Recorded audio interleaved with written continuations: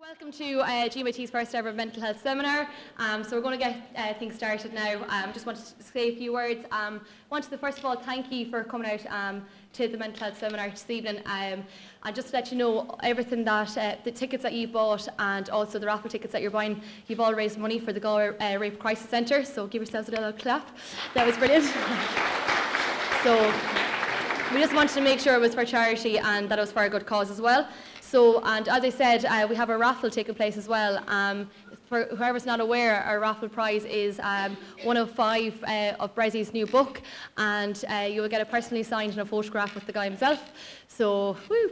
Um, I knew that would go down well. Anyway, so um, I just wanted to, um, first of all, obviously thank you, and uh, just to let you know that this evening is uh, that you will hear very personal stories um, about people, and they will be sharing something that you know they went through very personally, and some of you in the audience may be going through something similar as well. So it'll be very helpful to hear this. Uh, we have a fantastic panel of speakers, um, and I know you're all very eager to hear them, but just do have respect for what they are speaking about, and obviously at the end, please do keep it to questions about the topic that is discussed, uh, not too far off um, the area.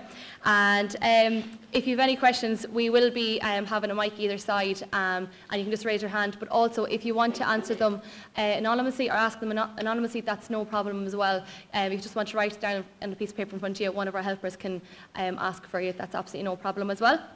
So, without further ado, I'd like to welcome our first panel member. So, she went to NUI Maynooth. Uh, she studied arts degree, and that's when she discovered her passion for makeup. Uh, she was self-taught from uh, YouTube tutorials uh, on YouTube, and decided in 2011 to set up her own channel. Um, this was when by Grace was born. Uh, she she travelled uh, to Australia in 2012 for two years, but then she came back in um, 2014. Um, she at that stage, she really began to focus on her blog and uh, YouTube channel, and she was brave enough to take the step to quit her job in 2015 and really commit to her blog. Um, and she followed dreams and worked really hard um, to give Faces by Grace um, a real name and she still works part-time as an MUA uh, for Inglot as well. So please welcome Grace.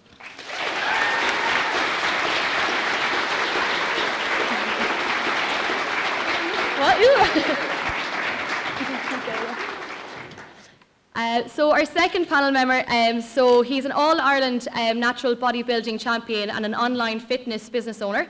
He's a Galway native and he first began struggling with his mental health in his early teens due to bullying, although he didn't kind of deal with it until his mid-20s. Um, anxiety and depression uh, took hold of his life, um, but, and, but he battled on through and is now the happiest he's ever been, which is great to hear. Um, and he attributes a lot of positivity in his life now through hard times he went through. Please welcome Kevin Russell.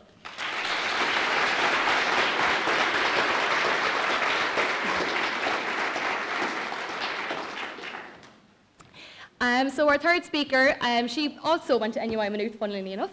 Um, she studied media studies at Neo Gaeilge. Uh, she was elected 2011 in Dublin Rose, and she went on to, uh, to perform a controversial hip-hop dance in Tralee, uh, which led her to get over 600,000 hits on YouTube, and a mention on Perez Hilton and an IFTA nomination for Best TV Moment. Um, after that, she worked as a freelance reporter and presenter for shows such as Ryan Tubridy uh, on 2FM, and um, for some shows for TG Carr on BBC Northern Ireland. She's also an ambassador for See Change Ireland, um, which tackles um, against the stigma of mental health, and is also frequently, frequently travels over to Chernobyl with Chernobyl's Children International. She currently works in marketing and social media for the Irish Fairy Door Company, as well as her own business, uh, Le Gras Gifts. Please welcome Siobhéal Nic Eochaidh.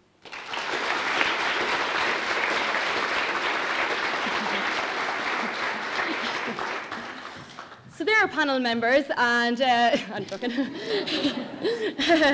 uh, so our final panel member, if you're not aware, is a retired uh, professional rugby and inter-county footballer multi-platinum selling songwriter and music producer, a public speaker and documentary worker um, who comes from the Midlands of Mullingar, County Westmeath. He is currently a coach on the Voice of Ireland and an active and extremely passionate mental health campaigner. His recent book, uh, Me and My Mate Jeffrey, which we have raffle Uh, he wrote about his journey about mental health, uh, became a bestseller, and he is currently filming a number of documentaries regarding the subject of mental health and emotional wellness in Ireland. Will you please welcome Bressie?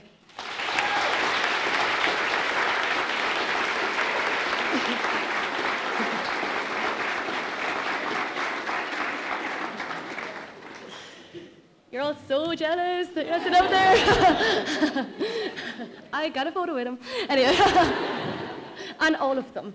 um, I'd just like to welcome our, our, president now of GMIT, Dr. Fer- Fergal Barry, just to say a couple of words as well at the event. So please welcome Dr. Fergal Barry. Good evening, everybody. Um, recently, I had the pleasure of raising the amber flag at GMIT's uh, Mayo campus, and indeed our Students' Union Vice President Amy Walsh has also raised the amber flag here in the last number of weeks. Now, as most of you know, the amber flag was created by the charity Suicide Aware in partnership with the Institute of Guidance Counsellors of Ireland and the Union of Students in Ireland. And the Amber Flag initiative aims to promote positive mental health issues in schools, colleges, clubs, societies and organisations throughout Ireland. And the main goal of the Amber Flag is to break down that stigma uh, surrounding mental health issues and to create an environment where it can be discussed openly. We're delighted at GMIT that positive mental health and well-being are being promoted in such an active way and that we're joining the hundreds of schools, clubs and societies that are already flying the amber flag and supporting positive mental health. This evening's mental health se seminar is another very welcome initiative and I'd like to thank everyone involved.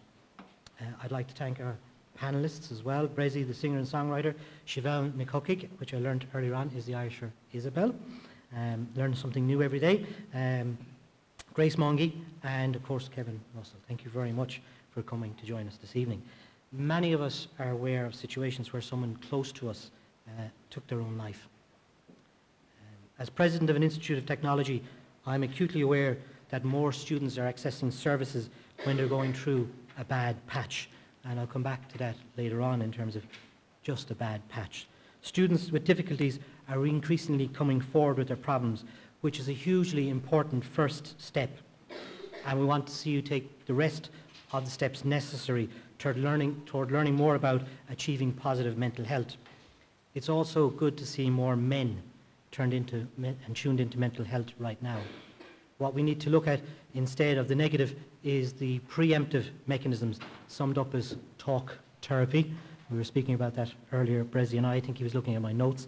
Uh, it's an issue that we'll need to be aware of because we don't know uh, who next will be looking for help. So mental health is everybody's responsibility. As you know, college is a place where there are a body of scholars and students discussing knowledge.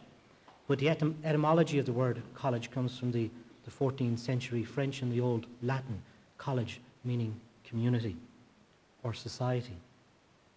Illness is something we need help to cure, but positive mental health starts with what we do ourselves. Simple and easy activities can change the health of individuals and therefore build communities in a positive way. Being healthy is all about physical and mental fitness. It's about habits and activities that become a part of our daily lives. Building healthy communities is about individuals looking after their own health and working and encouraging others to do the same. It can be as simple as remembering to breathe and take time to ourselves or to do something that completely absorbs you. As you know, I'm also anxious that the Institute would place interculturalism and diversity at the heart of our institution. Uh, this is the yellow flag, and I would be anxious that perhaps the Students' Union would lead out on that also. Placing interculturalism and diversity at the heart of institution can be as simple as reminding people to take the time to say hello to someone of a different culture or creed, or as complex as advocating with politicians to decrease the inequality in a region, or indeed, if you're ambitious, the country as a whole. In between all of these are many activities that will improve the mental health of those who organise them, those who engage with them, and the community as a whole. I hope tonight's initiative by our Students' Union will encourage all of us to create a place where we can talk and be listened to. It's all about promoting positive mental health and awareness. So I want to congratulate Amy in particular and the President of the Students' Union, Michael Kerrigan, uh, for all the work that they've, they've put into organising this evening's event. Before I close, I, I want you to, to look at the, the little bag that's in front of you, and I want to come back to that concept of the bad patch I spoke about earlier on. At the back of this little pack, there's a, description of why each of the things is included in the bag. A marble in case you lose your, your, your own, uh, a coin so that you're never broke, uh, a string to keep your things together, even if they fall apart, and an, an eraser to wipe away the mistakes, and a rose to remind you that you are loved. I had someone very close and dear to me in my life uh, who used to say that there are no roses without thorns. So you will go through bad patches. Things of beauty always have a dark side. There's always a conflict of, of vision. Night follows day. And sure enough, um, there's ups and there's downs. So please fly the flag and convey the caring ethos and student-centred focus of our institution. Enjoy the evening. Thank you very much.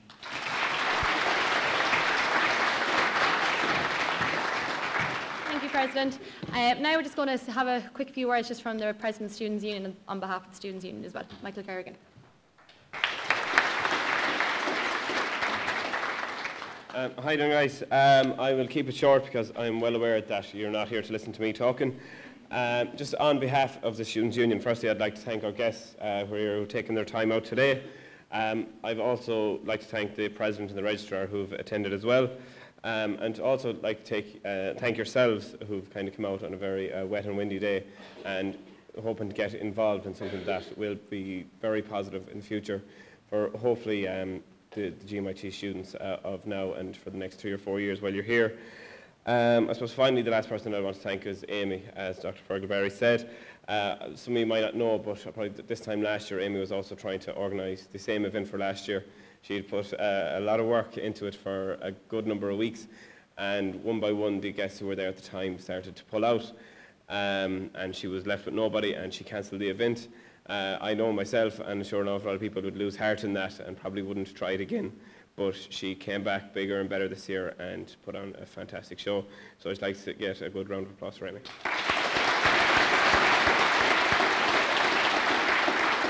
Um, yeah, and just for yourselves, I suppose, try and take something from this evening. Uh, don't be afraid to get involved and ask all the panelists as many questions as you can and hopefully this evening will help somebody here, whether it's in the short term or the long term. Thank you.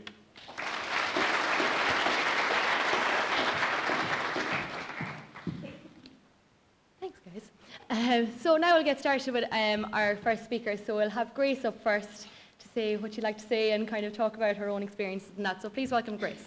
I'm here to tell my story and to share my experiences with anxiety and depression and hopefully one or two of you, if not all of you, will take something away from what I say and you might relate to that as well and think, yeah, sure, it's not that bad. If someone can get up and talk to such a big crowd who about 20 minutes ago nearly had a panic attack, then I think it's okay. so firstly, for those of you who don't know me, I am Grace, I'm from Dublin. So my sister and I travelled down today to talk to all of you. And I myself have suffered for years with anxiety and depression. And it first started off when I was about 17 years old. And I started to feel really different to the normal, bubbly, happy, outgoing Grace. And I think the first time I felt it was in my stomach. I just felt sick. And I was kind of like, what's that feeling? And why am I like this? And I was kind of getting a little bit down and upset all the time. And I was uh, nearly about to turn 18, so I think a lot of it was to do with change, and I was going into my final year in school, and stuff just started to change, and I didn't really understand why. So my my mum and dad were baffled as to what it was. They just thought maybe you're not well, so they took me to the doctor, and I had my blood test done, and he said he listened to my story, and he was like, "Well, it sounds to me like you're depressed," and I was like, how can I be depressed? I'm 17 and I have all my friends and I have a great life, I have great family. But I knew I, there was something not right, but I didn't really understand what depression was. And there wasn't much talk about mental health and depression at my age or in school, so I didn't really understand it at all.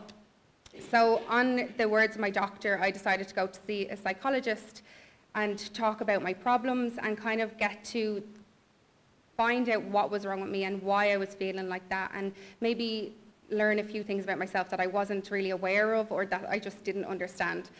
So I went to see a psychologist at 17, around 17, 18, and one of my biggest fears at the time was going into a restaurant and ordering food because I felt really overwhelmed at the idea of that and really like it made me feel sick to my stomach that I was like, oh my God, I can't. It was a really big fear. And I know you're probably thinking that's not a big deal. Like everyone goes into restaurants and orders food.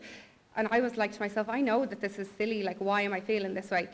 So I went to my sessions with my counsellor and she said to me, like, by the end of it, she was like, you're going to go and go to a restaurant with your family. And I was like, no, I can't do that. She was like, no, that's the goal for this, to you to go and do that. So I was like, okay. Told my mom, and I was like, I really don't want to do that. I like, I really don't want to go. And she was like, it's fine. Me, you, and your dad will just go out. Like, we'll just get you through that. And I was like, okay. I was petrified, and I really didn't want to go. And I kept saying no, but they were like, you have to do this. Like, you have to get over the fear of going and ordering food.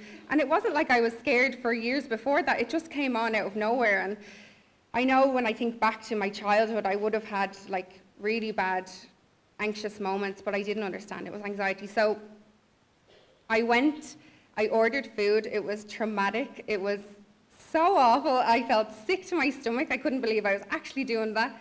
And I know it really sounds just so easy and so, something that anybody does, but for me it was something so huge that I was like petrified.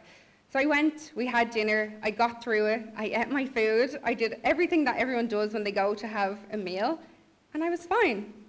And I think the build up to actually going and ordering and everything beforehand had gotten me so anxious and nervous that when I sat down and ordered, I was like, this isn't a big deal. This is fine. What was I worried about? Why was I so anxious? And I kind of just laughed to my mum and dad, and I was like, here I am doing my biggest fear at the time, and I'm fine. I didn't die, but I had that anxious feeling throughout until I finished my meal. And now that I look back, I'm 27 now, I look back and I'm like, God, that was a huge deal to me, but it wasn't at all to my friends or my family. But for me to actually go there and do that, I faced my fear front on and I got rid of that feeling. So that was my first kind of experience with depression and anxiety. And after my counseling sessions and a bit of therapy and mindfulness and meditation, I kind of got over that bad patch. And I was fine for a couple of years and I was getting on with life. I went to NUI Maynooth, as Amy said, and I would always be a worrier and I would be anxious at certain situations. And then sometimes I would feel way too anxious and like worry about things that weren't even realistic and I would have irrational thoughts. And I knew that at the back of my mind, I was making these thoughts up myself and making myself more anxious than I needed to be.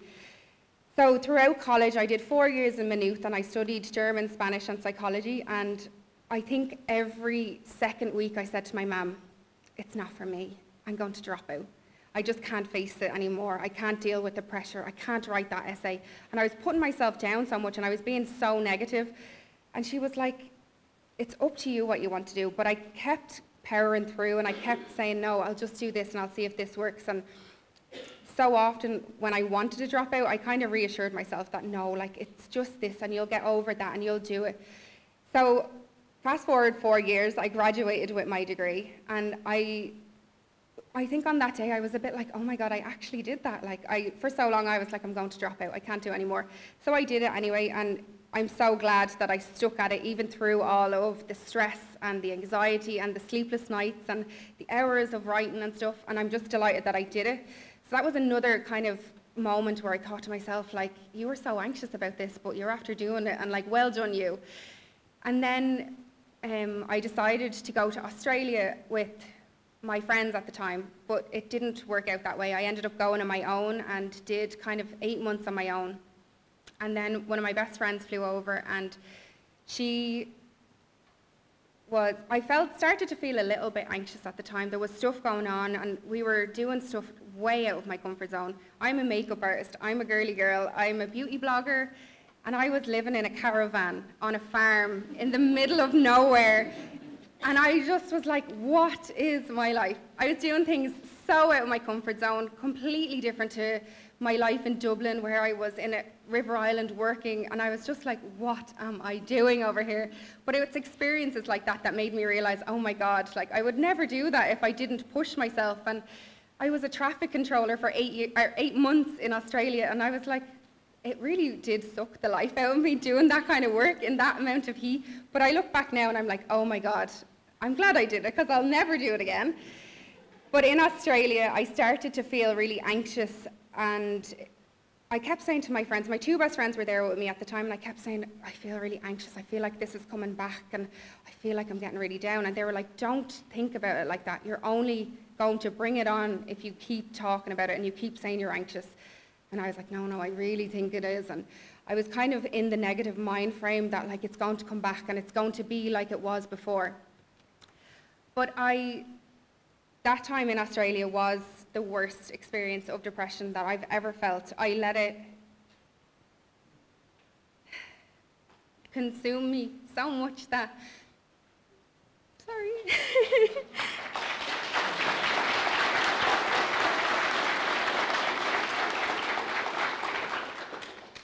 that I knew I had to come home and I knew I had to face my demons straight on and I had to just say like, okay, Grace, this is how you're feeling and you're really anxious, but you're aware of it this time and you know what's going on and you know I had educated myself and talked to my friends and I'd started to see a therapist in Australia and kind of teach myself more about anxiety and learn that it wasn't me. I wasn't the crazy person. It was my anxiety was doing it to me. It was my mind making me feel like this. So I decided I was to and fro and like, will I come home and will I, like, will I face this or will I just get on with it and I'll be fine? So back and forth for a couple of months, back and forth to my sister, and she was like, it's whatever you want to do. And one of my friends flew over then for the last six weeks of my holiday, and I just was back and forth, like, will I come home and get help? And I knew like coming home would be the best thing for me. I tried counselling over there, and I talked to doc- like countless doctors, and they were like, I kept saying like, is this wrong with me? Is that wrong with me? And they're like, no, Grace, like you are suffering with a mental illness. And I was like, but will you just check this to make sure I don't have brain cancer? Crazy stuff that I was thinking. I was like, please just reassure me that that's not actually happening. So they said to me in the end, I went to see a doctor and he said, You are here for the next five days. You're going to be okay, but I really think when you get home, you need to go to your doctor at home and go to see somebody. And I was like, I know, I just need to get home. I was holding on to getting home and being with my family and friends. And I'd said to myself, like, I know I need help, and I was really like looking forward to coming home and getting the help.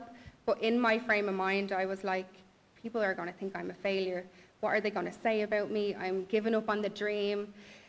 So I decided to come home, and the six weeks that we traveled down the East Coast with my friends, my two best friends, I must have been the worst travel companion ever because I couldn't do so much, and I felt like such a burden to my friends. I would cry every single day. I wouldn't be able to leave the hostel. I would back myself into a room and I would just cry so much that they were like, What's wrong? And I was like, I don't know. Like, I'm just so upset and I don't know what's going on. And I just feel my thoughts were taking control of what was happening. And I just was irrationally thinking of everything. And I kept saying, like, I'm not going to get home.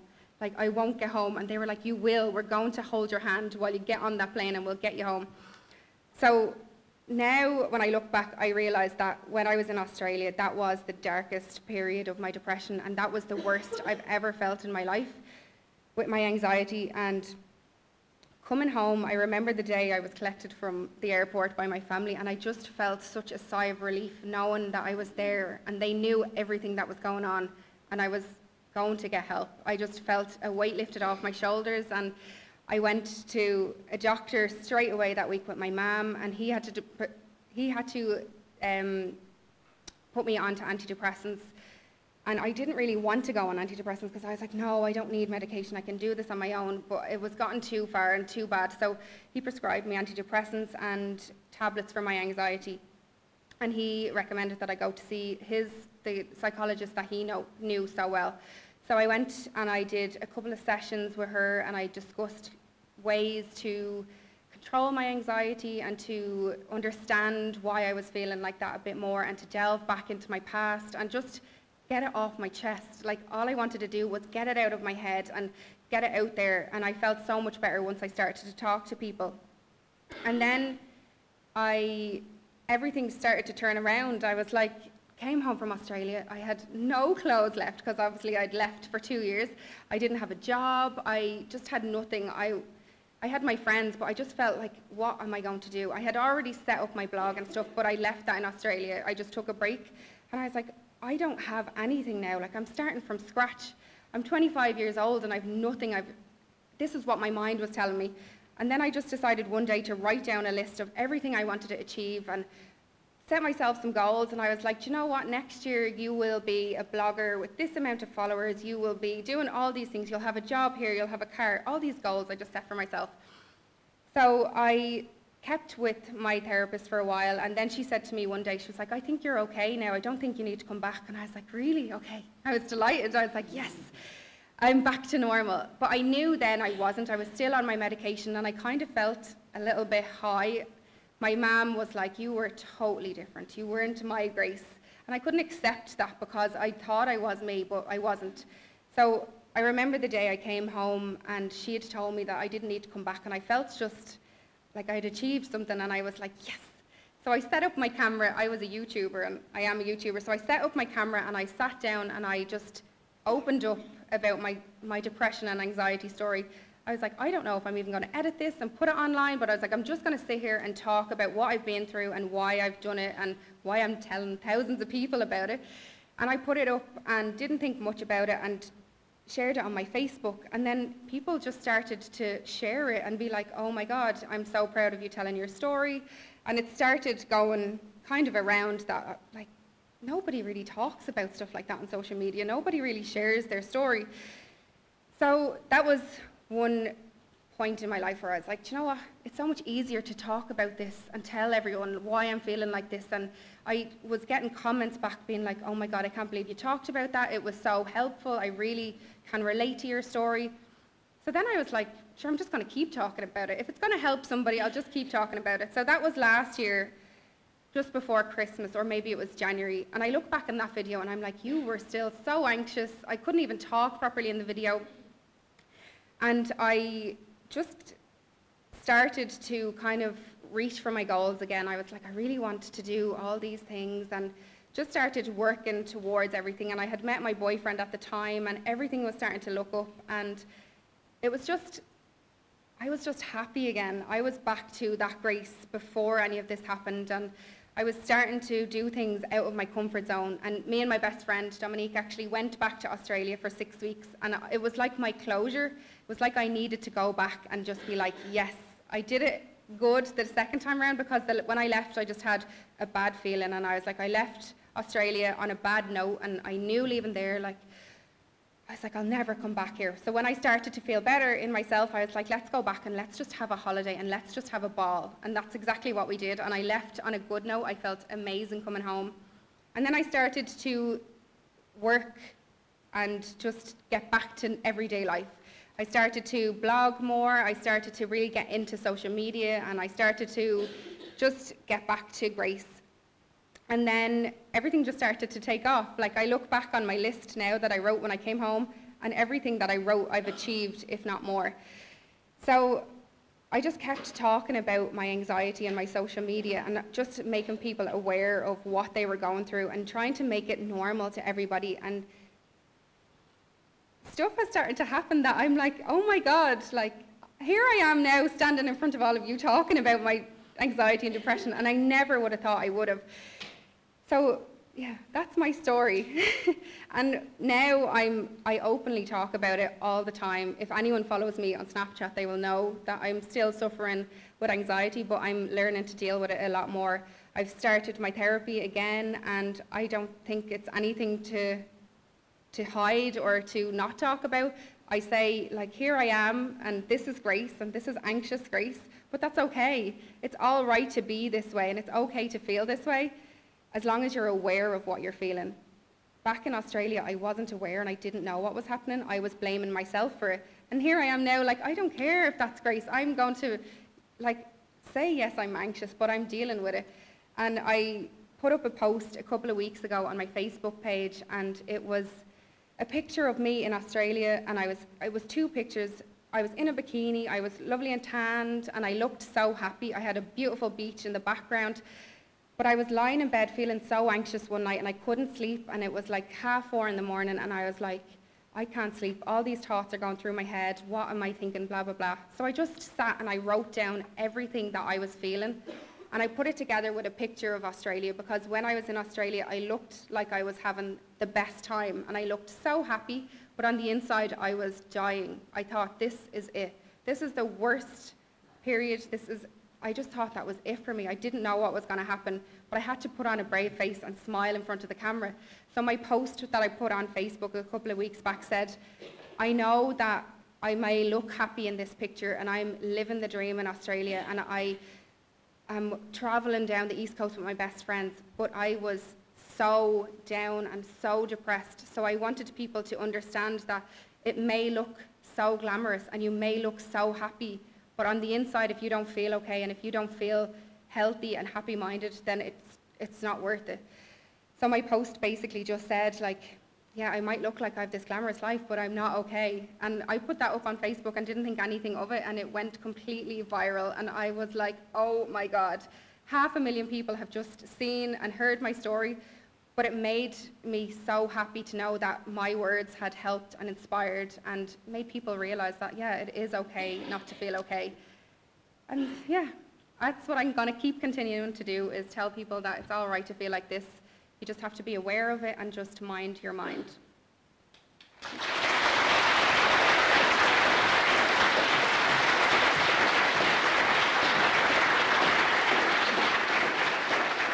Thank you so much, Grace. I think we can all agree that that was very brave and very, very inspirational. Thank you so much. So next up, can we please welcome Kevin Russell?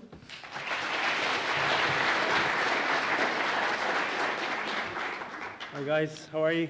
Thanks very much for having me, first of all. Um, so yeah, like Amy, I have a few questions here. This is how I'm going to guide myself throughout the talk. But like Amy was saying, I'm an online personal trainer and a natural bodybuilder from Galway. Um, I've, you know, I suppose people might have an idea of a bodybuilder as somebody goes out on stage in a pair of Speedos, so he couldn't be lacking in uh, confidence. And, you know, that's true to an extent, but it's also, you know, a huge chunk of my life definitely wasn't that way. You know, I wasn't the confident, happy, outgoing person I am now. And um, yeah, so I'm going to tell you, tell you guys my story. Um, I'm also a student as well, unfortunately in NUIG, so don't pelt, pelt me with eggs. Yeah, save the booze for later, but uh, yeah. Um, so first question, uh, when did I first start struggling with anxiety and why? So although I probably, although I wasn't aware of it at the time, um, I first started struggling with my mental health when I was uh, in secondary school. I was about 13, 14. Um, so I got to secondary school, I got into an altercation with a scumbag, and that, he is a scumbag. And uh, this guy proceeded to then torture me, not torture me, but uh, yeah, torture me, I suppose, to an extent, uh, for, for three years following that altercation. So, you know, at the time I wasn't aware of what I was going through, but this guy used to, I, you know, I avoided social situations, I became a loner, I just avoided anything, you know, to do with living life, basically.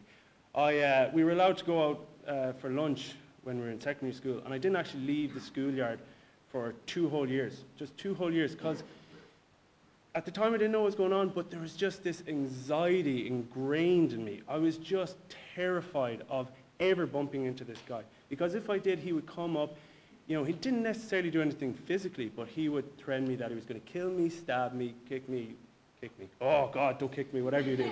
Um, but he got inside my head, you know, and I was just, I was so young, I didn't know what was going on, going on. I didn't know what to think. But this anxiety was just ingrained for me from such a young age. I used to go home, I used to tell my parents I hated my life. I didn't want anything to do with it. I wanted to end it. You know, I would have sleepless nights, tossing and turning. I would have, you know, this surging feeling in my stomach going into school, leaving, like going to the shop just for fear of bumping into this guy. It was never going to happen, but it was in my head that I was going to bump into this guy. And eventually, you know, my parents had to bring me to a counselor when I was 14 because they were just, they didn't know what to do. They didn't know what was going on in my head. I was telling them that I hated my life, I wanted to end it. And, you know, what are they supposed to say to a 14-year-old kid? So I remember I went to this counselor, and for the full hour, I sat there sobbing because I didn't know how to deal with this. You know, how do you deal with it at the age of 14? I didn't know what was going on in my head. But, you know, at the same time, it was, it was a huge release for me, just being able to, you know, I went to this counselor for a few sessions and just to be able to talk about what was going on. And uh, then brings me to my next question. What helped me through get, helped me through that initial period with my mental illness? And I think when you're going through something negative like this, there's all this negative going on in your life, and all you need is this kind of glimmer of hope, this, this ray of positivity. And for me, I was really into rugby at the time. It was my passion. I don't play it anymore, but it was, you know, it was my life. You know, as a teenage boy, that's kind, of, you know, sport a lot of the time can be, you know, the be all and end all. So I got um, selected to be on the Connacht Rugby Academy, which was a big enough deal back then, and you know, it was a great opportunity for me to do something that I loved with people with similar interests. And uh, that was one definite, definite kind of moment where I kind of got out of this negative loop and this negative mentality and got to do what I love. And that's actually where my, you know, really my, my interest and my love for exercise started. And exercise was obviously the other, the other aspect that got me through it. And I also moved school. I moved after third year, I moved to Coláiste Iognáid, um, the Jes and had three of the best years of my life. Still look back at it as such great memories and made so, so many good friends and yeah, it was great. And it was just those two turning, turning points, I suppose, those two kind of, yeah, those, those positive moments in my life that kind of shifted the negativity, the kind of stream of negativity. So yeah, I had, uh, went to college, had two great years. Can't remember a whole lot of them because, yeah, well, I'm sure you, you have an idea why. But, um, yeah, and I ended up you know, had too much of a good time and ended up failing my second year of college. Took a year out, worked for the year, and I went back to college then. And that brings me to my next question. When did things kind of come to a head again, or when did the anxiety and come back? Um, and you know, you guys are in college, and I can say this now because I've experienced it, but when you go to college, you kind of think, this is it. This is the be all and end all. I have to get that piece of paper. I have to get this, this degree to be something in life. And it is life. You know, that's, when I went back to college, that was my mentality. I was like, this is my last shot. You know, I can't afford to fail again. Failing is not possible. I have to get this degree. And if I want to be anything in life, I have to get it. So I went back with this mentality, which was completely wrong. Um, you know, and I went back and I worked hard. I put loads of hours in and Christmas, you know, there were, there were a lot of stuff, there was a lot of stuff going on in my life as well as this, but, you know, coming up to exams, I, uh, this pressure was growing and just growing inside of me, and, you know, I was having sleepless nights, the same kind of anxiety surging, and, you know, just built it up so much into my head. And I remember, like, having no sleep at this stage, I went into my first uh, Christmas exam, and I sat there, and for 30 minutes, I thought I was dying, and I was like, okay, you're dying, but just don't cause a scene. Just don't cause a scene. you know, so you have to wait for 30 minutes before you can go. I don't know if it's the same here, but uh, uh, 30 minutes went. I ran home and uh, I virtually collapsed on the ground from just a complete anxiety attack. And I actually rang my mom and I said, "Don't mean to alarm you, but I'm having a heart attack." It wasn't. It wasn't as calm as that. It's more like, "Don't mean to alarm you, but I'm having a." You know, um, and uh, yeah, that was kind of the, the moment, I suppose, where things just um, just began to kind of spiral out of control. Um, because it was kind of the moment where I was like, okay, this, you just, you just, this was, this was your whole life. This was your chance. You had to get this degree and you just messed it all up. You know, you just, you just failed your first exam. Um, so then my next question, I suppose, when, um, was there, what was the lowest point during this period and was there a moment of clarity when you realized you need help? So from that moment on, um, things progressively uh, got worse. This, uh, this anxiety just began to grow inside of me. Um, you know, again, sleepless nights, tossing, turning, thinking I was dying, thinking of all these negative thoughts, not being able to breathe, all these negative emotions. Everything I didn't want to think about, I thought about, and I couldn't stop it. Um, you know, I, I used to lie awake for literally the entire night, just tossing, turning. I used to have an anxiety attack going to the bus, going to meet my best friends. I, I, I couldn't be myself. I couldn't be who I knew I was. And um, eventually, the anxiety just, you know, grew and turned to depression. And I just became this, you know, this emotional wreck. I would just cry at anything. I just didn't leave the house. I, I just couldn't function. It just, it was just like any other illness. It just took control of me. I just couldn't do anything. And um, the moment of clarity, I suppose, was just uh, I just said to my mom, you know, she's like, Kevin, she knew there was stuff going on, because I always talk to my mom, but she was kind of saying, you know, are you okay? What's going on? And again, you know, I just started sobbing, crying. I just couldn't even get the words out. So she, she sent me to the doctor, and um, you know, I sat there and I just, I just said like, I, I literally, I just don't know what the point of life is if I'm going to feel like this for the rest of my life. You know, what is the point if I'm going to be in this like complete depth of just misery and sadness and I just can't escape it. And uh, I suppose the moment of clarity was just like, you know, Kevin, you have depression. You know, it's, it's okay. People go through this. You know, it's not, it's not the end of your life. It's just, it's just something that you have to, you have to get through. Um, and for me, I suppose that was kind of, kind of a good moment because, not a good moment, but it was, that was the moment of clarity because all along I was thinking, you know, who am I to feel like this? Like, you know, I have friends, I have family, I'm a good person. Why, why, like, why am I feeling this? Like, who the hell are you to kind of feel this way? And for him to say, look, it's an illness, there's something wrong with you, it, it kind of said, okay, well, you know what, it's not just me overthinking things, there is actually something wrong with me. Um, so what helped me get through that particularly difficult period in life? And, you know, talking. Talking. I'd talk to anybody. Talk to a bloody tree if I had to, you know, but I, it's, it's about being open about your feelings, you know, and like people kind of have this kind of say to you, you know, when you talk about depression, anxiety, it's like, geez, you're very brave coming out, you know, very brave talking about this kind of stuff. And it's kind of bizarre because like, how is it brave or how is it courageous to talk about how you're feeling? I mean, like, I just find that bizarre. I think everybody, you know, it would, it would, like, it would upset me more if people just weren't talking about how they're feeling. Um, so yeah, talking, you know, I, I availed of the student counselling services. Um, I talked to my doctor, my friends, family, anybody. And, uh, you know, I also took medication. And I think there's, there, I think there's can be this stigma around, you know, antidepressant medication and this kind of, yeah, the stigma associated. But, you know, it helped me get through a difficult period. It, it didn't, it didn't make, turn me into a zombie. It didn't do anything. It helped me sleep at night and it helped me, it helped me kind of take control of my thoughts and my life and kind of get that structure back. And I suppose like an amazing moment for me personally was, you know, I've been taking antidepressants for about three years and I'd kind of been lowering the dosage as the years went by. And, uh, you know, about three months ago, I was taking, you know, some a, very small dosage every kind of second night. And it was kind of this moment where I'd wake up uh, after the, my day, uh, say I'd taken the antidepressant before I went to bed, and then I'd wake up the next day and I felt like crap. And it was just this moment then I was like, you don't need them. You know, you don't, that, that period is kind of gone, you know. So that was, a, that was an, an incredible moment for me anyways, personally. But uh, brings me on to my next question. Was there a defining moment or moment when things started to change? And um, like earlier, I think when you're going through something negative like this, you just need this kind of glimmer of positivity. And for me, uh, it, was, it was passing my, um, the exam that I actually failed.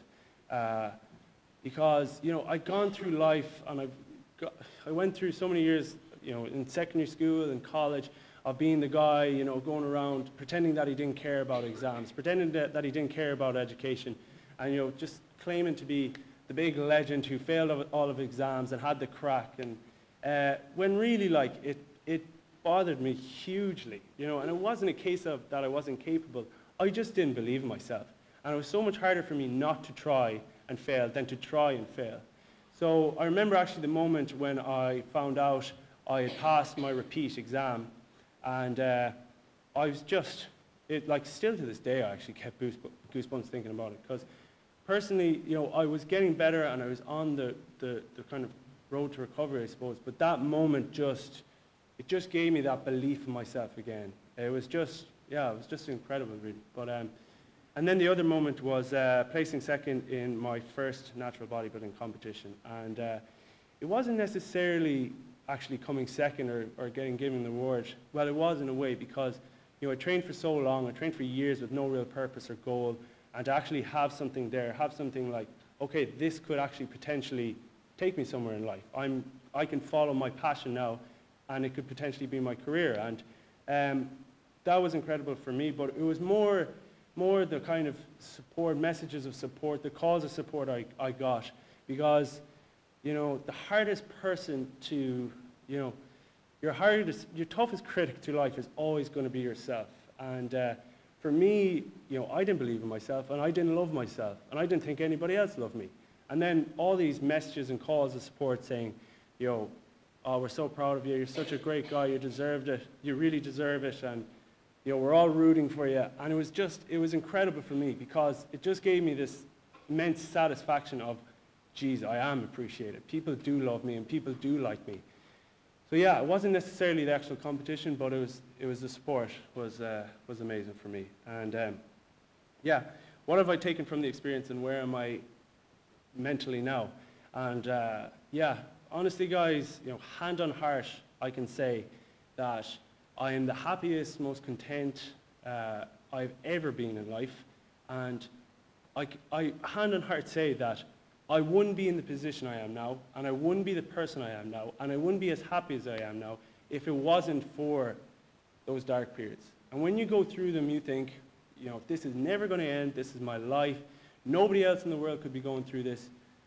And now, in hindsight, I can look back and I'm so bloody grateful I went through those tough times because it's made me who I am today and it's, it's made me appreciate what actually matters in life and it's friends, family, experiences, and loving yourself because, yeah, I suppose before that period, I didn't, you know, I didn't know what life was about and what actually mattered in life. And going through that, it, it helped me realize what really does and it helped me love myself.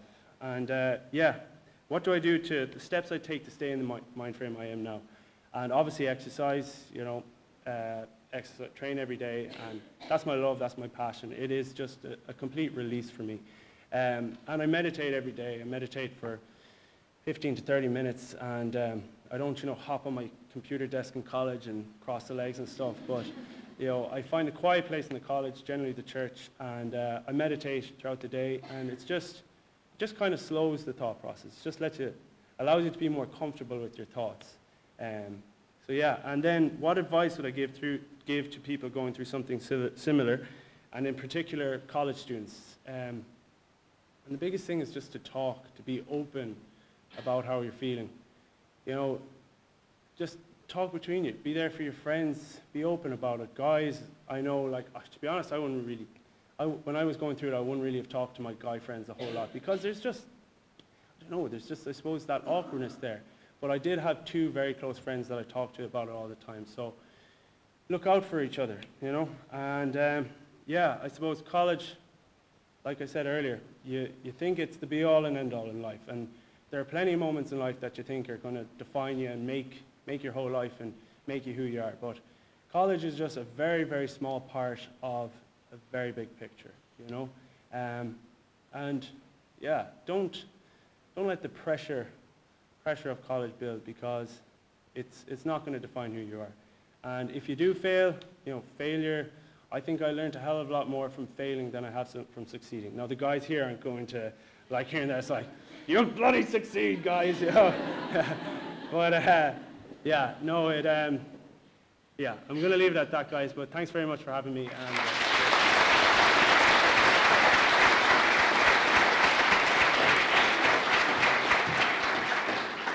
Thanks a million, Kevin. I'm sure it's probably an awful lot easier to probably stand up here in a pair of Speedos now than probably to talk about what you just did, but thanks so much. Um, next up, if you could all just welcome Siobhéal. She'll share her story. My name is Siobhéal. I am clearly by the accent a dub as well. Um, born and bred. Um, I'm very happy to be here to share my story with you all. Um, I am quite the same, in the same boat as the guys here, in the sense that I've spoken about my experience with friends and I've been very open about it on social media and I've spoken about it on radio once before, but I've never actually stood in front of people to talk to them about it. So I hope that you get someone in the room gets some comfort from what we're sharing. Um, I will start then with my story. Um, so when I was growing up, I had a very normal, standard, lovely childhood. I have great parents. I have amazing siblings. I'm the youngest of five children, so it was always a busy house. Um, I never went through anything traumatic in life. The, I was so blessed. Um, we had everything we ever needed. My dad was a self, you know, had his own business. He's had it for 40 years. He's put us all through college, like, you know, so everything's been good. Um, when I was in school, I absolutely loved school. I was a real nerd, so if any of you were in school with me, you probably, I'd probably wreck your head because I was right up the front, just loving it. Um, I was always involved um, with Camogie and GAA. I would have started playing football um, from a young age and then moved on to Camogie for a number of years as well. So I was very active and very into fitness and looking after myself, basically. Um, so when I was around 17, I would have been in transition year in school. And I um, basically I became ill. It wasn't mentally ill; it was physically ill. Um, our family has a history of fertility problems and things like that. So um, I was beginning to have some issues, and there were some warning signs. And my mum, I'm very close with my mum, close with all my family, but my mum and I are very open about things. So she was nearly straight away, like on the phone, making the doctor's appointments, you know, doing whatever we had to do to get it fixed. So after seeing a good few doctors, after seeing a good few consultants, um, I was eventually put on the contraceptive pill.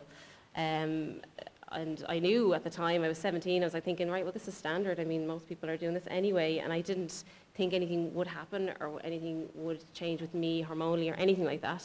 So I just went about my life normally then for the next few months. It didn't take that long actually for me to, to feel differently.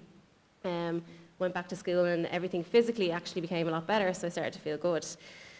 Um, so after a few months, it really happened over a period of time. It wasn't suddenly, I didn't just wake up one day and feel differently. It very much, for me, happened um, steadily over a few months.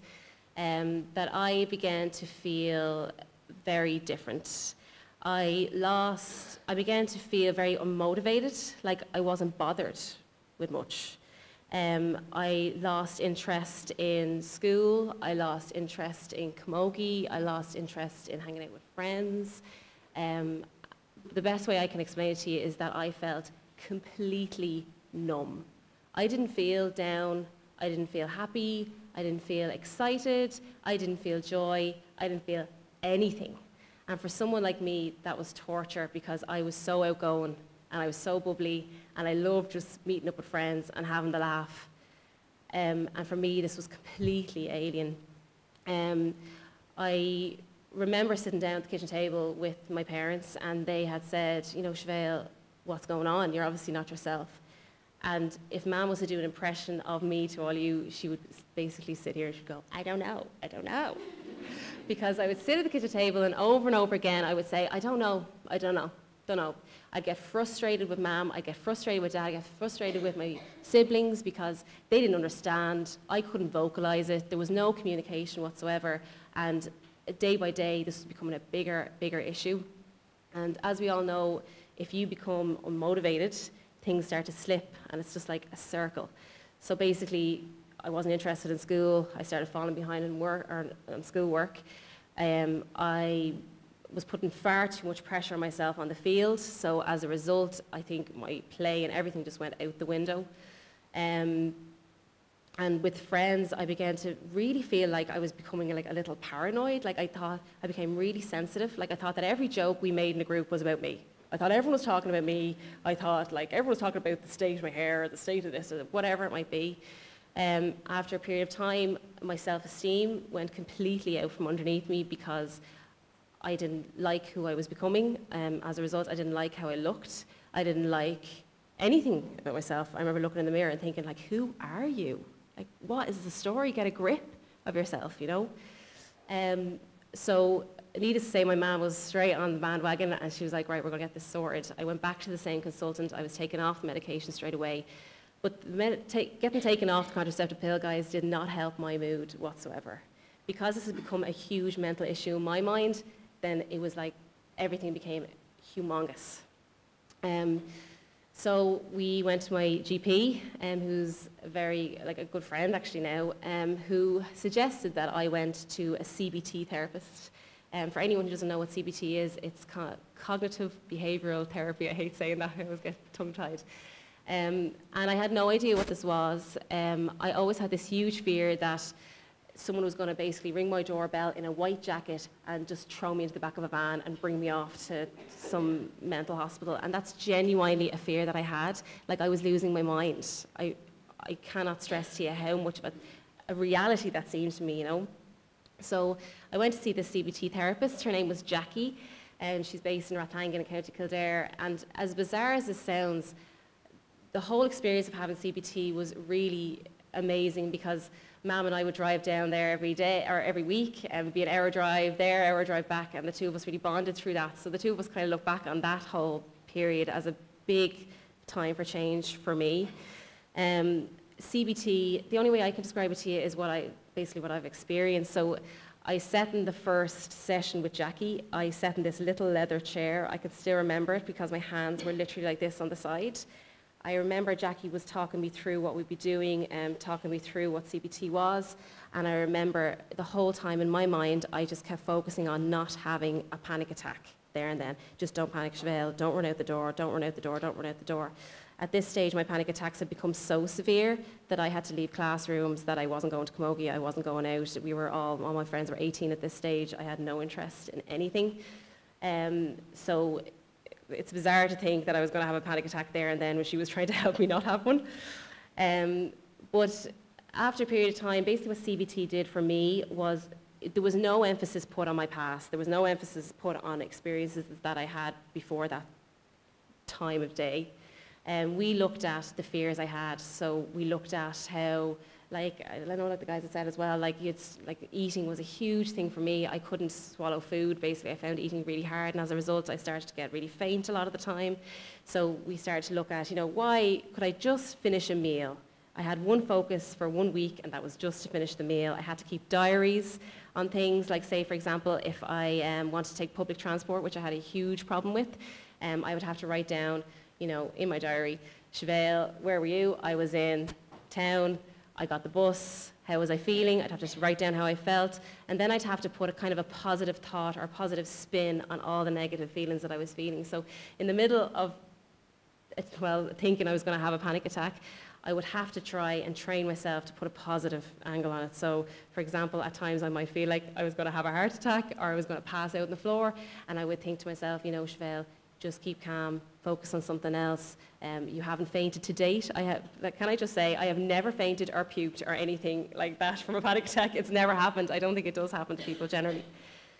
Um, and that's what CBT did for me. It was just a really proactive, really, um, it was really motivating kind of way of therapy. And it really helped me get to know myself, my insecurities, my anxieties really, really well. And I saw Jackie for a year, guys. I mean, it was a long time of hardcore therapy. Um, but I remember, I'll never forget that feeling of starting to feel like myself again. I'll never forget that feeling of feeling excited about going somewhere. That was the best. I mean, we take it for granted, like, and I know I had the, I lived the college dream, so I know what it was like to get excited about Freshers Week, to get excited about seeing, about going to cinema, anything.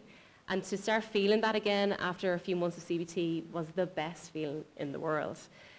Um, I have to stress as well, I, although I had great support systems, guys, I found it extremely hard to open up to people about how I was feeling. Um, at the time, I mean, keep in mind, I was 17, 18. When you're in secondary school, you know, and you're not in the classroom, your friends are walking by and they're like, what's the matter with you? You're all right. And you're kind of saying, yeah, yeah, yeah, I'm fine, grand, yeah. And then you'd open up to a few people. And I had friends who were friends with me for life, and I would tell them how I was feeling, and I would try to be as good as I could with communication. And I would say to them, look, I think it's depression that I have. I feel really anxious. I have a knot in my stomach all the time. And they would kind of look at me and go, okay. And guys, that face, I'll never forget it. Like I, I had that reaction from a lot of people. Oh, okay. And that was genuinely really hard, that kind of reaction, because you kind of felt like me being a deep thinker, I kind of thought like, okay, she behind that now, she's thinking I'm off my rocker. And that's genuinely how I felt, you know. And going through what I've gone through has really made me more empathetic towards other people's situations and how I react to someone when they tell me they're down.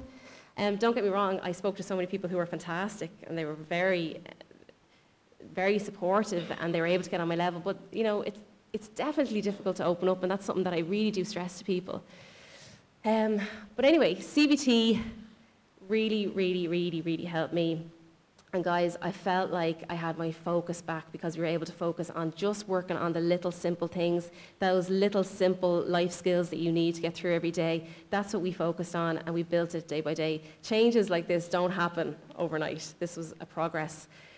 Um, but after that, I mean, I had sixth year. I went on to do the Leaving Cert, got like what I needed. Um, I went on to do Nua-Ghaeilge and media studies in college. Yeah, I still had all the same um, worries. I had the same anxieties. I was terrified of meeting new people. I was terrified of being outside school and you know growing up. Um, I had, I, even though I had my course, I still had no direction. I mean, I didn't know exactly what I wanted to be. I still don't know what I want to be when I grow up. but, um, and that terrifies me still. I still have the same anxieties, but I feel like I'm much more able to keep them um, under control and to really be realistic about things and not to be hard on myself. I really learned to just say, you know, if you conquer, if you get over a small challenge every day, we have to be able to say, like, that was good. You did good there. Like, well done. And that was something I never did before. And I still find it hard, but I think it's really important to give yourself that pat on the back when you do something that you're a bit uncomfortable with, you know. Um, but to give you an idea, after that, I, I felt like a new person. Um, I got my degree in media studies in Nua-Ghaeilge. I absolutely went berserk at every Blizzard gig that was on in the Students' Union. I love that. Um, and then in my third year in college, I, um, I went through a difficult stage in the sense that I fell out with some friends and some people that I knew from home. And it got really messy. It got to the point where online bullying was the case, where it was directed towards me. Um, I didn't go out in Clondalkin Village for a long time. I still, still don't feel necessarily comfortable with that. And even though that was a really hard time in my life, guys, because of the skills that I had learned through my CBT, I felt like I was able to manage that. And as a result of the experience that I had had with that particular group of people, I decided to put my name in for the Rose of Tralee. God, so cheesy, I know. Um, I put my name down at the Dublin Rose Centre. There's a lot of girls that go for it. It was an unreal experience. It's so much more than what you would see on the TV. Um, and I met really, really great people through that. And I was chosen as a Dublin Rose. And I will never forget that moment because I went into that experience being completely okay with who I was. Um, like Kevin said, because of what I went through, I felt like I was stronger than ever. I felt like I knew myself better. I was so comfortable in my own skin, and that was amazing. And I think that's the only reason I was picked because I kind of had that approach. And since then, I mean, I did a bit of a crazy hip hop dance as my talent on the Rose Tree, and that was a bit of a moment. Um, but it was brilliant, and ever since then I got to go on and be a freelance journalist, and that's when I got to work with the Tubridy Show, and I went on air to speak about this and got really upset because he asked really deep questions. And it was my first time speaking about it, but ever since then I feel like speaking about my experience helps me feel further away from ever being depressed again, but I hope that it gives you a bit of hope that once you go through anything like that, guys, it makes you 10 times the person you ever were. It gives you so much more depth it gives you so much more appreciation for like a good cup of tea or like just a walk, whatever it might be. Like you become a lot more mindful. Um, and don't get me wrong, things aren't perfect in my life. Um, I still have moments where I get down and everything like that. But um, I've, you know, like Amy said, I've been to Belarus. I've seen, been, worked in mental institutions like that, and they would have been humongous things for me when I was anxious, and I was able to do them, feel anxious but not have a panic attack and you can get through it. So that is my main message. Thanks, Neil.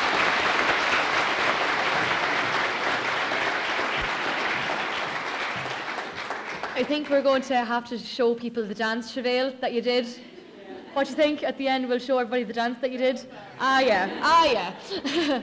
anyway, so that. Um, thank you so much, Siobhéal. That was brilliant. So we'll welcome our fourth and final speaker for this evening, Mr. Niall Breslin. How he is? All right. I'm going to do my hip hop dance at the end as well. All right. I'm not quite sure this stage is able to take me, but I'll give it a shot. Um, it's funny, I was just listening to everybody speak there. And I think we give mental health illness too much credit sometimes. We try to make it sound really complex, and nobody really understands it. But the reality is, it's not that complex. Everything everybody said there, it's just like thoughts and moments going through my head of exact relations to what they're saying. And I think we give it too much credit and too much power sometimes. Um, is it easy to deal with? No, it's not. It's absolute hell on earth. But it's dealable with. It is absolutely 100% dealable and manageable with. Uh, and I don't buy into the Oprah Winfrey quotes and the stuff, you know, when you, you get up and you see someone like the dawn, dark, you know, darkest before the dawn, all that crap. And you know, somebody puts a thing up on Twitter on a Sunday morning that they've just done their 40k run and you're dying of a hangover eating a double decker and a can of Coke and you're going, just think of yourself, you self-righteous prick. That's not what we're talking about here. And it's okay to think that, because I'm that guy now. I'm that self-righteous prick.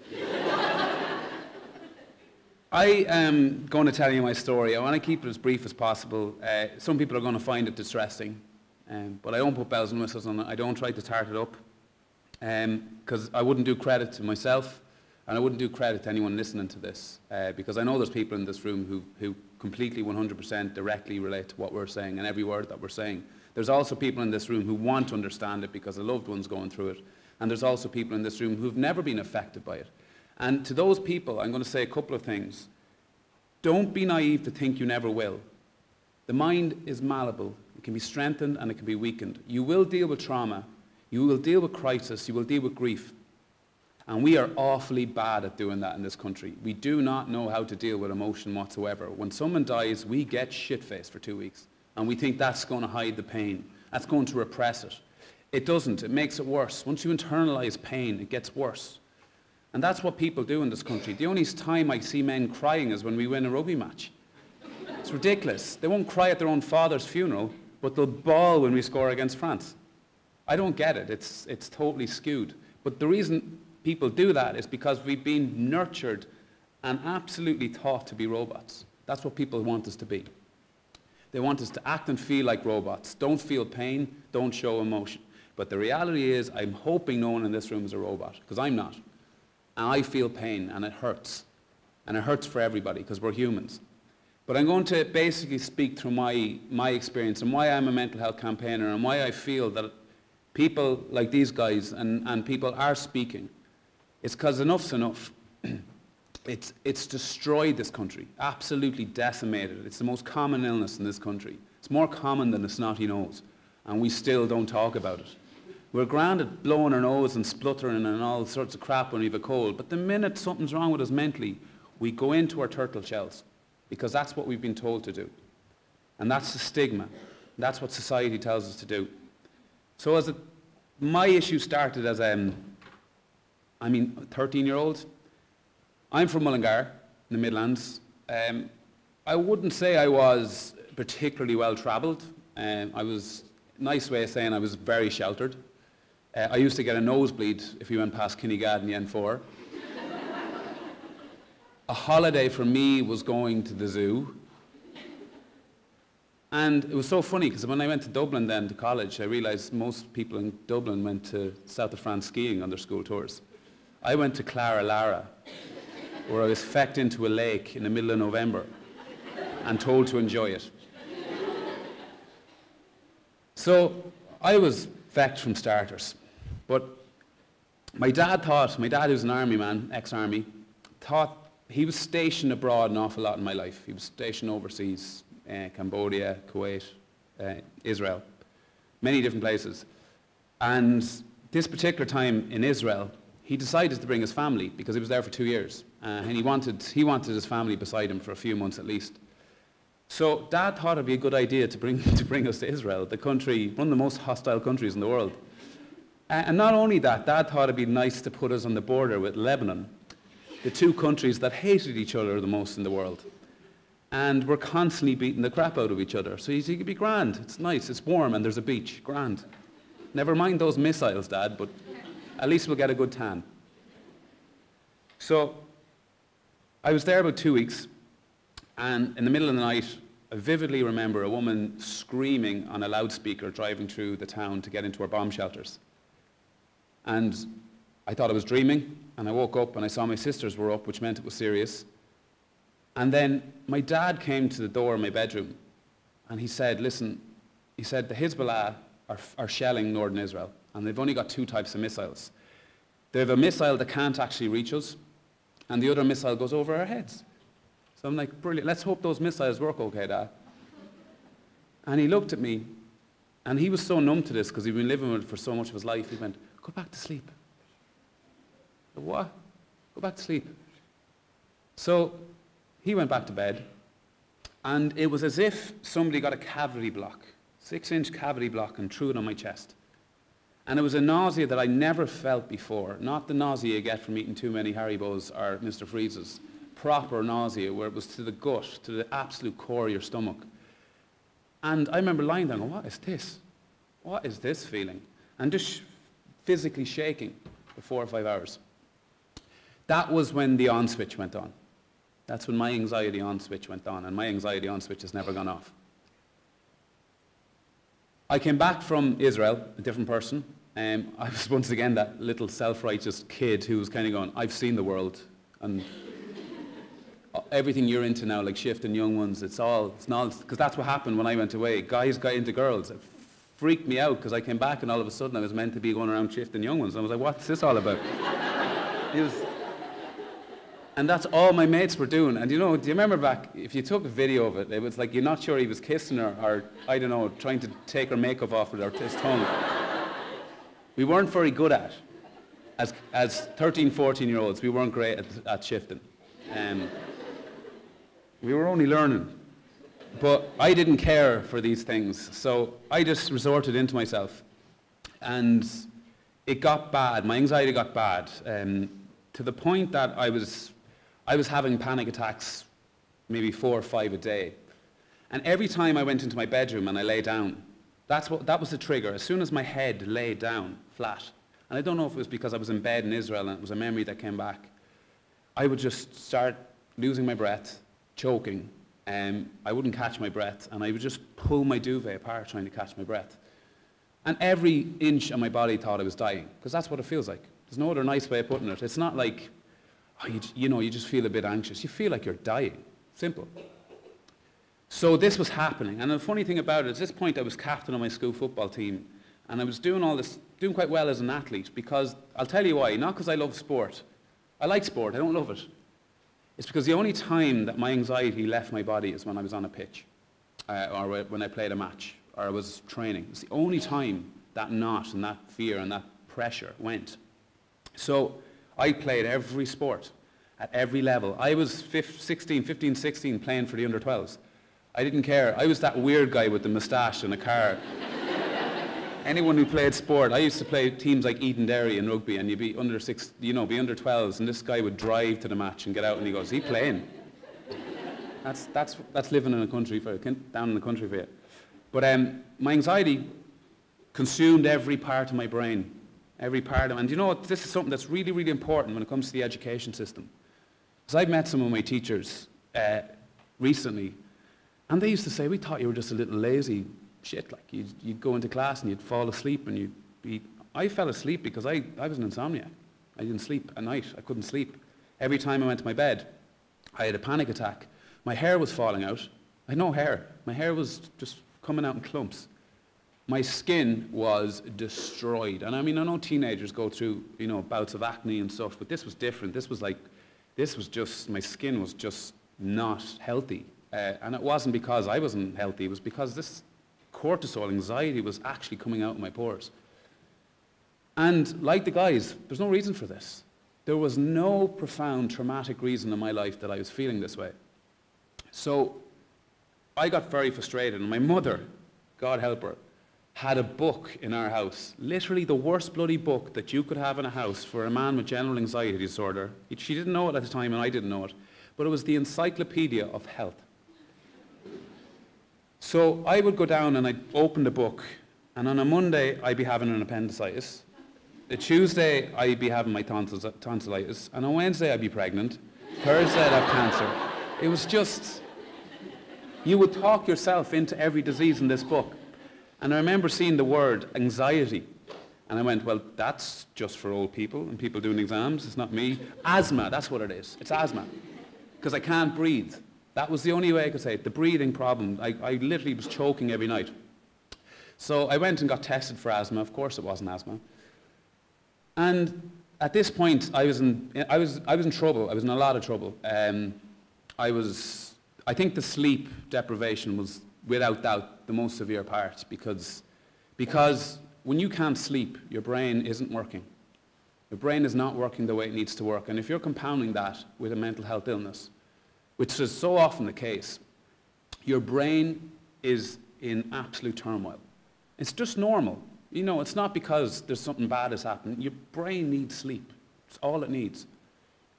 So I resorted to something that we hear a lot about, and I've heard really misleading things about it and quite shallow, you know, uneducated things about self-harm. Um, self-harm, I've heard parents say it's just attention seeking. I didn't want attention. It's the last thing I wanted. I wanted just to hide. I wanted to just get through it. Survive, I think, was the word I was trying to. I, I, wanted to survive. So I started self-harming. And at the start, it, was, it wasn't anything too severe. I would, I would punch walls, you know, stuff like that, which is really stupid. Think about the logic behind punching a wall. Like, it's not going to move. You know, your, your, your hand isn't that strong.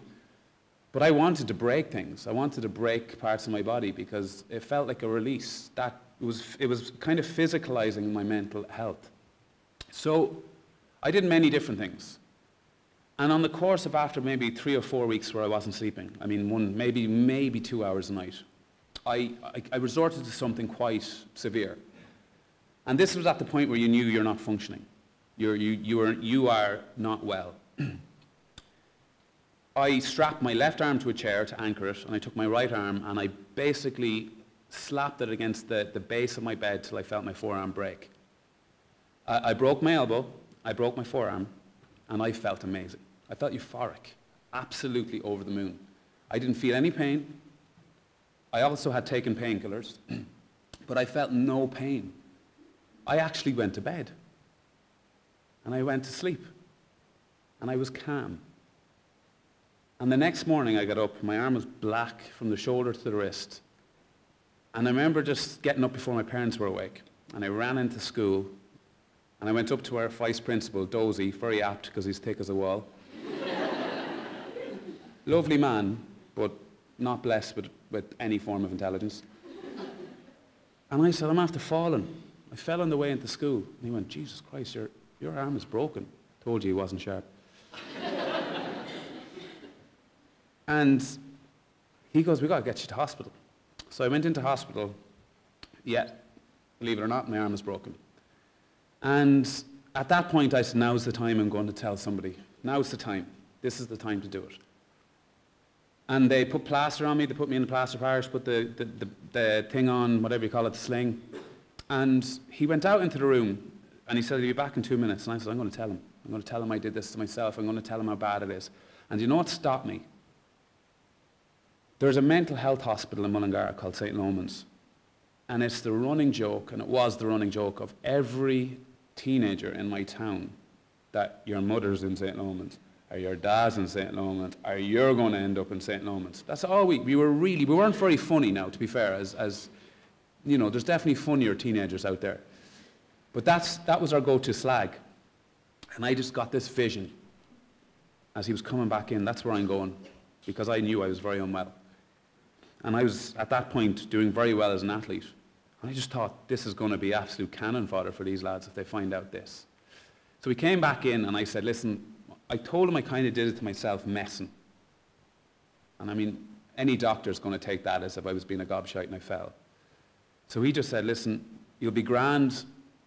Come back to us in four weeks, we'll have a look at the arm. And I remember leaving the hospital very calmly, very rationally once again, thinking of how I was going to take my life.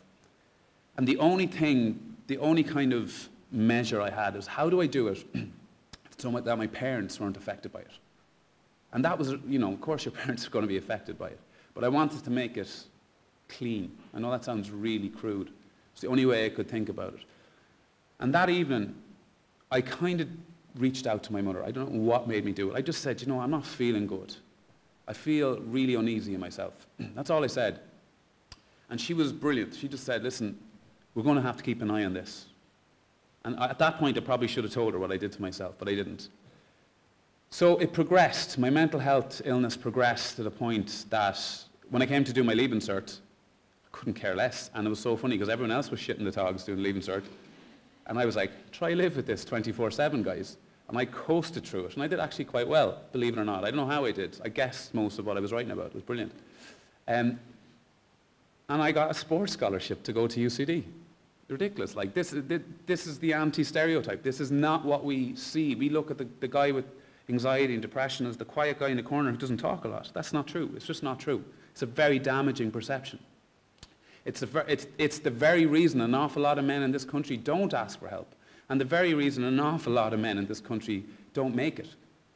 Because we have a stereotypical perception of what the person should be and what they've gone through and the traumas they have, to, they have dealt with. And if you haven't gone through them, then you mustn't be that sick.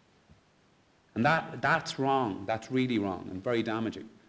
I went into college on a sports scholarship, and I remember my first day in UCD. Uh, some of you might know UCD, uh, some of you mightn't, but I remember walking down, ironically, and asking a foreign student, excuse me, sir, do you know where the, uh, the arts block is? And he went, just look for the most depressing building in the campus. I went, oh, there, there it is.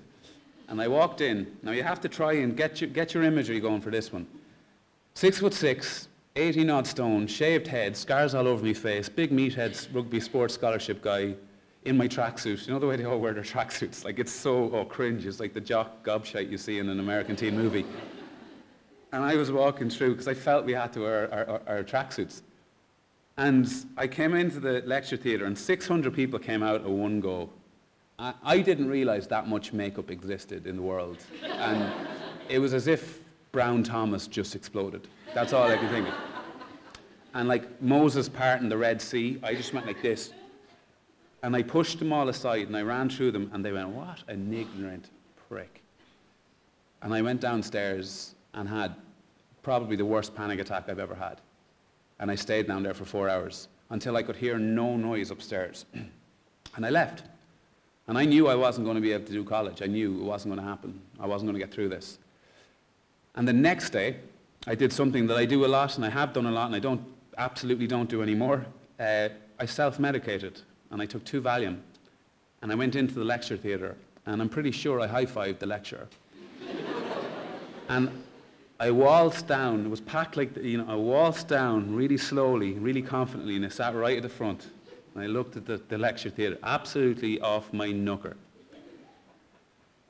And 15 minutes into the class, I just heard this really loud thud beside me, and I looked up, and there was a dead fish on the desk beside me, dead salmon, to be a bit more specific.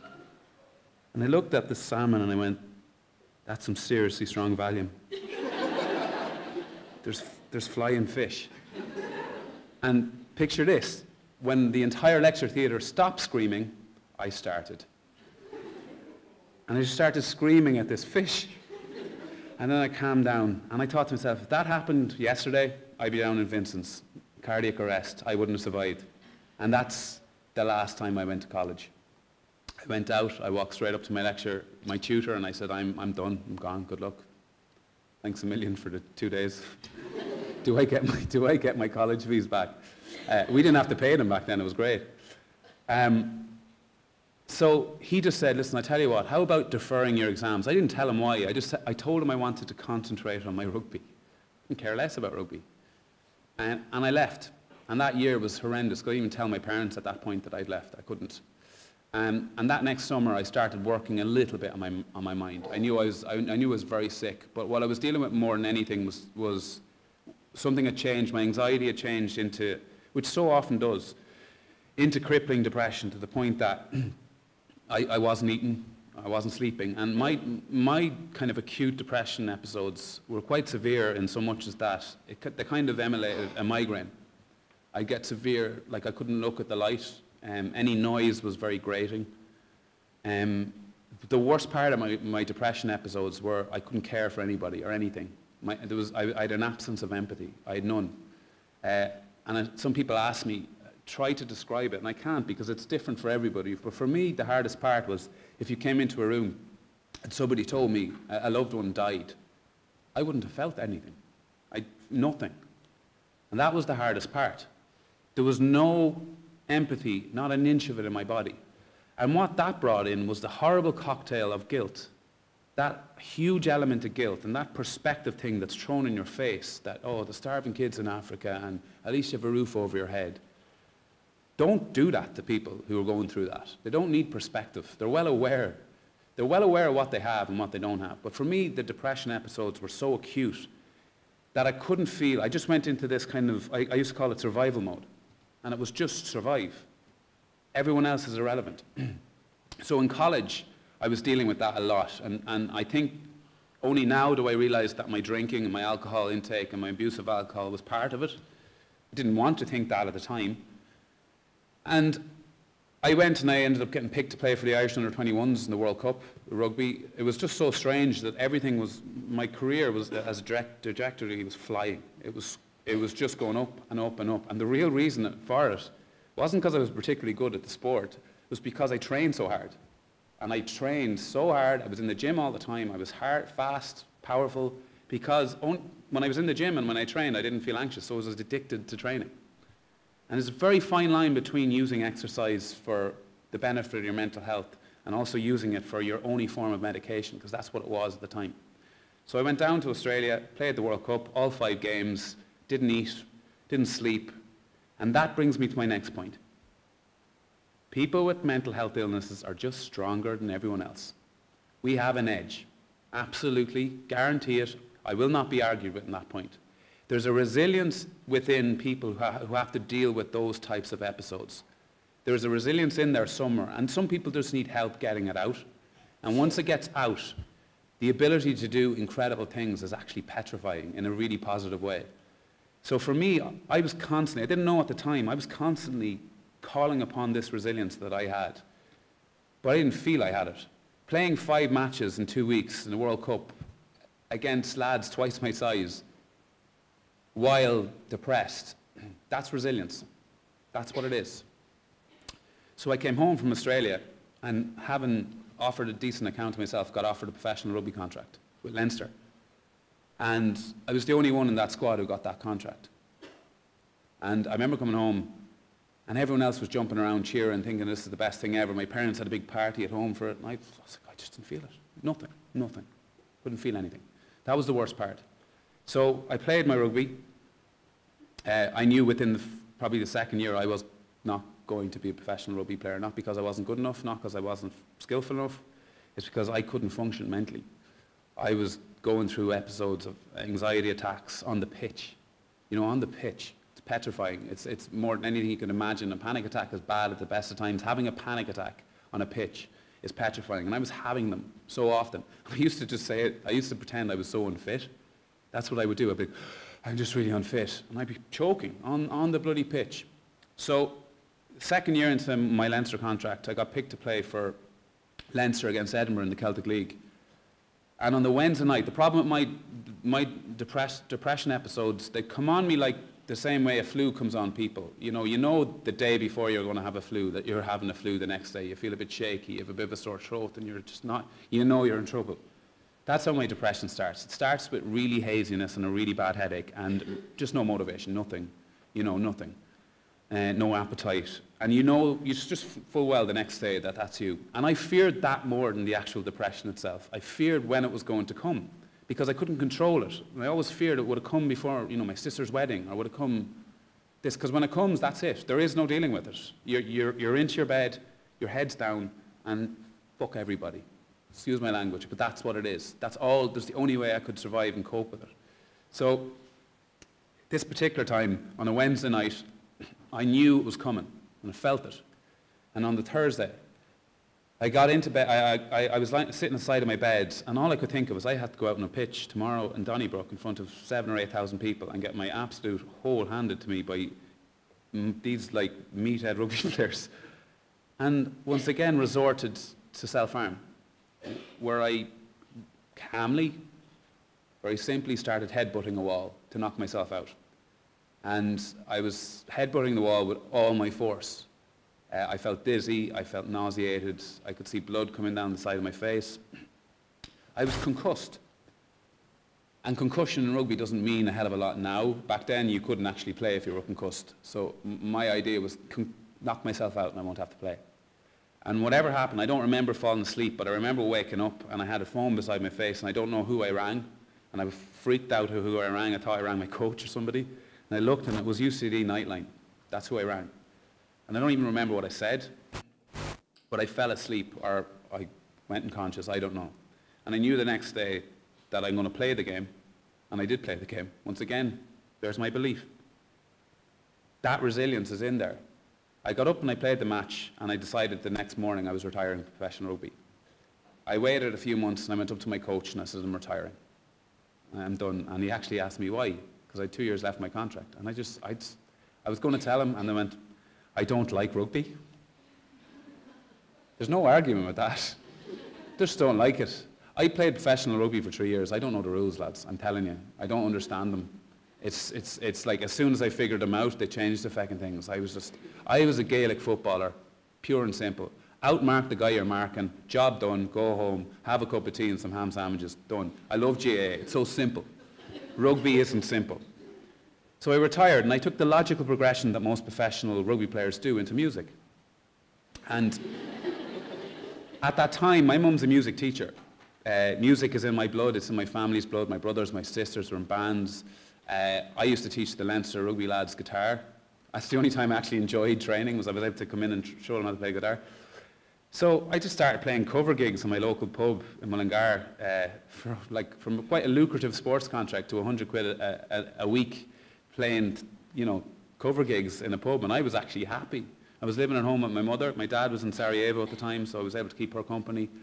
And I was happy and I was quite content. And I just started writing songs with a group of mates that I grew up with. And very quickly, we got signed to Universal on the basis of two or three songs. And the Blizzards kind of kind of took off, I suppose, to a point, and we, we were like, this is great, you know. But with music comes the music, the music kind of lifestyle. You know, you do drink a lot. You do eat a lot of crap food. Does anyone in this room recognize, you know all those like Topaz and Statoils and this? Do you recognize that, that all the food there is the same color? Has anyone actually made that point? The wedges, the sausage rolls, the chicken fillet rolls, they're all the same color. They're brown. That, that food's not good for you guys. Just so I know you're students, but it's, it's processed and it's really bad for your brain. I didn't realize at the time, but I literally lived on that. Lived on it 24-7. And I drank lots of alcohol. And that was my first connection. I went, Jesus, when I abuse my immune system, my head goes to pot. In the same way, when you abuse, some people abuse their immune system here, and you know, if you go, you go out a bit on the lash for a couple of nights and you eat a bit of crap food, and you get a chest infection. Some people get physically sick. I get mentally sick, very mentally sick. And the day we stop separating the mental and the physical is the day we get somewhere here. Because they're the same thing. They're best friends, they're buddies. They want to be together. You abuse your immune system, it's going to abuse you back. That was my first connection. So what did I do? I bought a book called Eat Yourself Calm. That was my first little, little jump into it. And I started looking at my diet and what I was eating. And I changed it completely. I also said, I got to stop drinking alcohol because I was drinking myself asleep. It's the only way I could sleep, would drink alcohol or take a Valium. That was the only way I would do it. So I stopped drinking and said I'd rather not sleep. And after a couple of weeks, I was like, geez, I'm feeling just a little bit better, less hazy. And when, when the days, dark days came, they weren't so severe. They didn't last as long. And I used to have this mantra saying, this will pass, this will pass. That's all I used to say. So that was quite interesting. But it just didn't go away. Uh, I wasn't dealing with it. You know, eating better food and not drinking alcohol is not going to deal with it. It's, it's going to help. It's certainly not going to. And I didn't, you know what? I don't want to be cured. I don't. I just wanted to be able to cope. That's all I wanted. So in, with the band, like every relationship, and there's something you, you all got to be honest with yourself here. You might think you're in relationships with people, but if there isn't 100% honesty there, you're not in a relationship. The founding absolute basis of any relationship is honesty. And I had never been honest with any person in my life. No one. Not girlfriends, not band members, nobody. Because I never told them what was going on in my head. I never told them, and if I did, it might have made them realize why I acted sometimes the way I did. So the band, uh, although we, love, we absolutely love each other, we grew up with each other, we grew apart because I wasn't being honest, and we, we broke up. And we, didn't, we shouldn't have broke broken up. We just signed a major record deal in the UK. We were going places. We were starting to get where we wanted, but I just couldn't do it. Like another career just taken from me because I can't function. I can't deal with my mental health. So I moved to London. We think by running away, you can't outrun it. The next thing around the corner, it'll disappear. You can't outrun a mental health illness. If you had a physical disability or a physical illness, do you think by moving country or going somewhere else that is going to go away? Of course it isn't. That's exactly the same as a mental health illness until you learn to turn and face it and deal with it and meet it halfway, it's just going to keep coming after you. So I moved to London, and London's a funny place because you have everyone has this perception of like Love Actually in Notting Hill, and you, people sing to you when you come in the arrivals hall, and Hugh Grant runs around slapping people's arses in Notting Hill. Live under the flight path of Heathrow in Ealing, 50 minutes outside, where you have to get on the underground and literally pull the heads off people to even get onto the feckin' thing. I was like, I'm a complete bogger. I don't mind saying that. I absolutely love things that sl- move slowly. And moving to London was, this is horrible. I hated it. Every man for himself. Darwinism at its absolute finest, survival of the fittest. And I was in hell. And my mental health dropped. My hair fell out. It all fell out. Um, I couldn't even, my beard was clumps in my, like, I couldn't grow. Just, I had alopecia from stress. I used to ring my mother, just panicking all the time. And I had to build my studio, my, my recording studio, in my bloody bedroom because I couldn't leave the house. And I was trying to build a career here. And this is what my mental health was doing to me. And it, it got to a point in London where I had what can only be defined as, as my only breakdown. A breakdown is a word we use too much in this country. Your mother has a breakdown when she burns your dinner.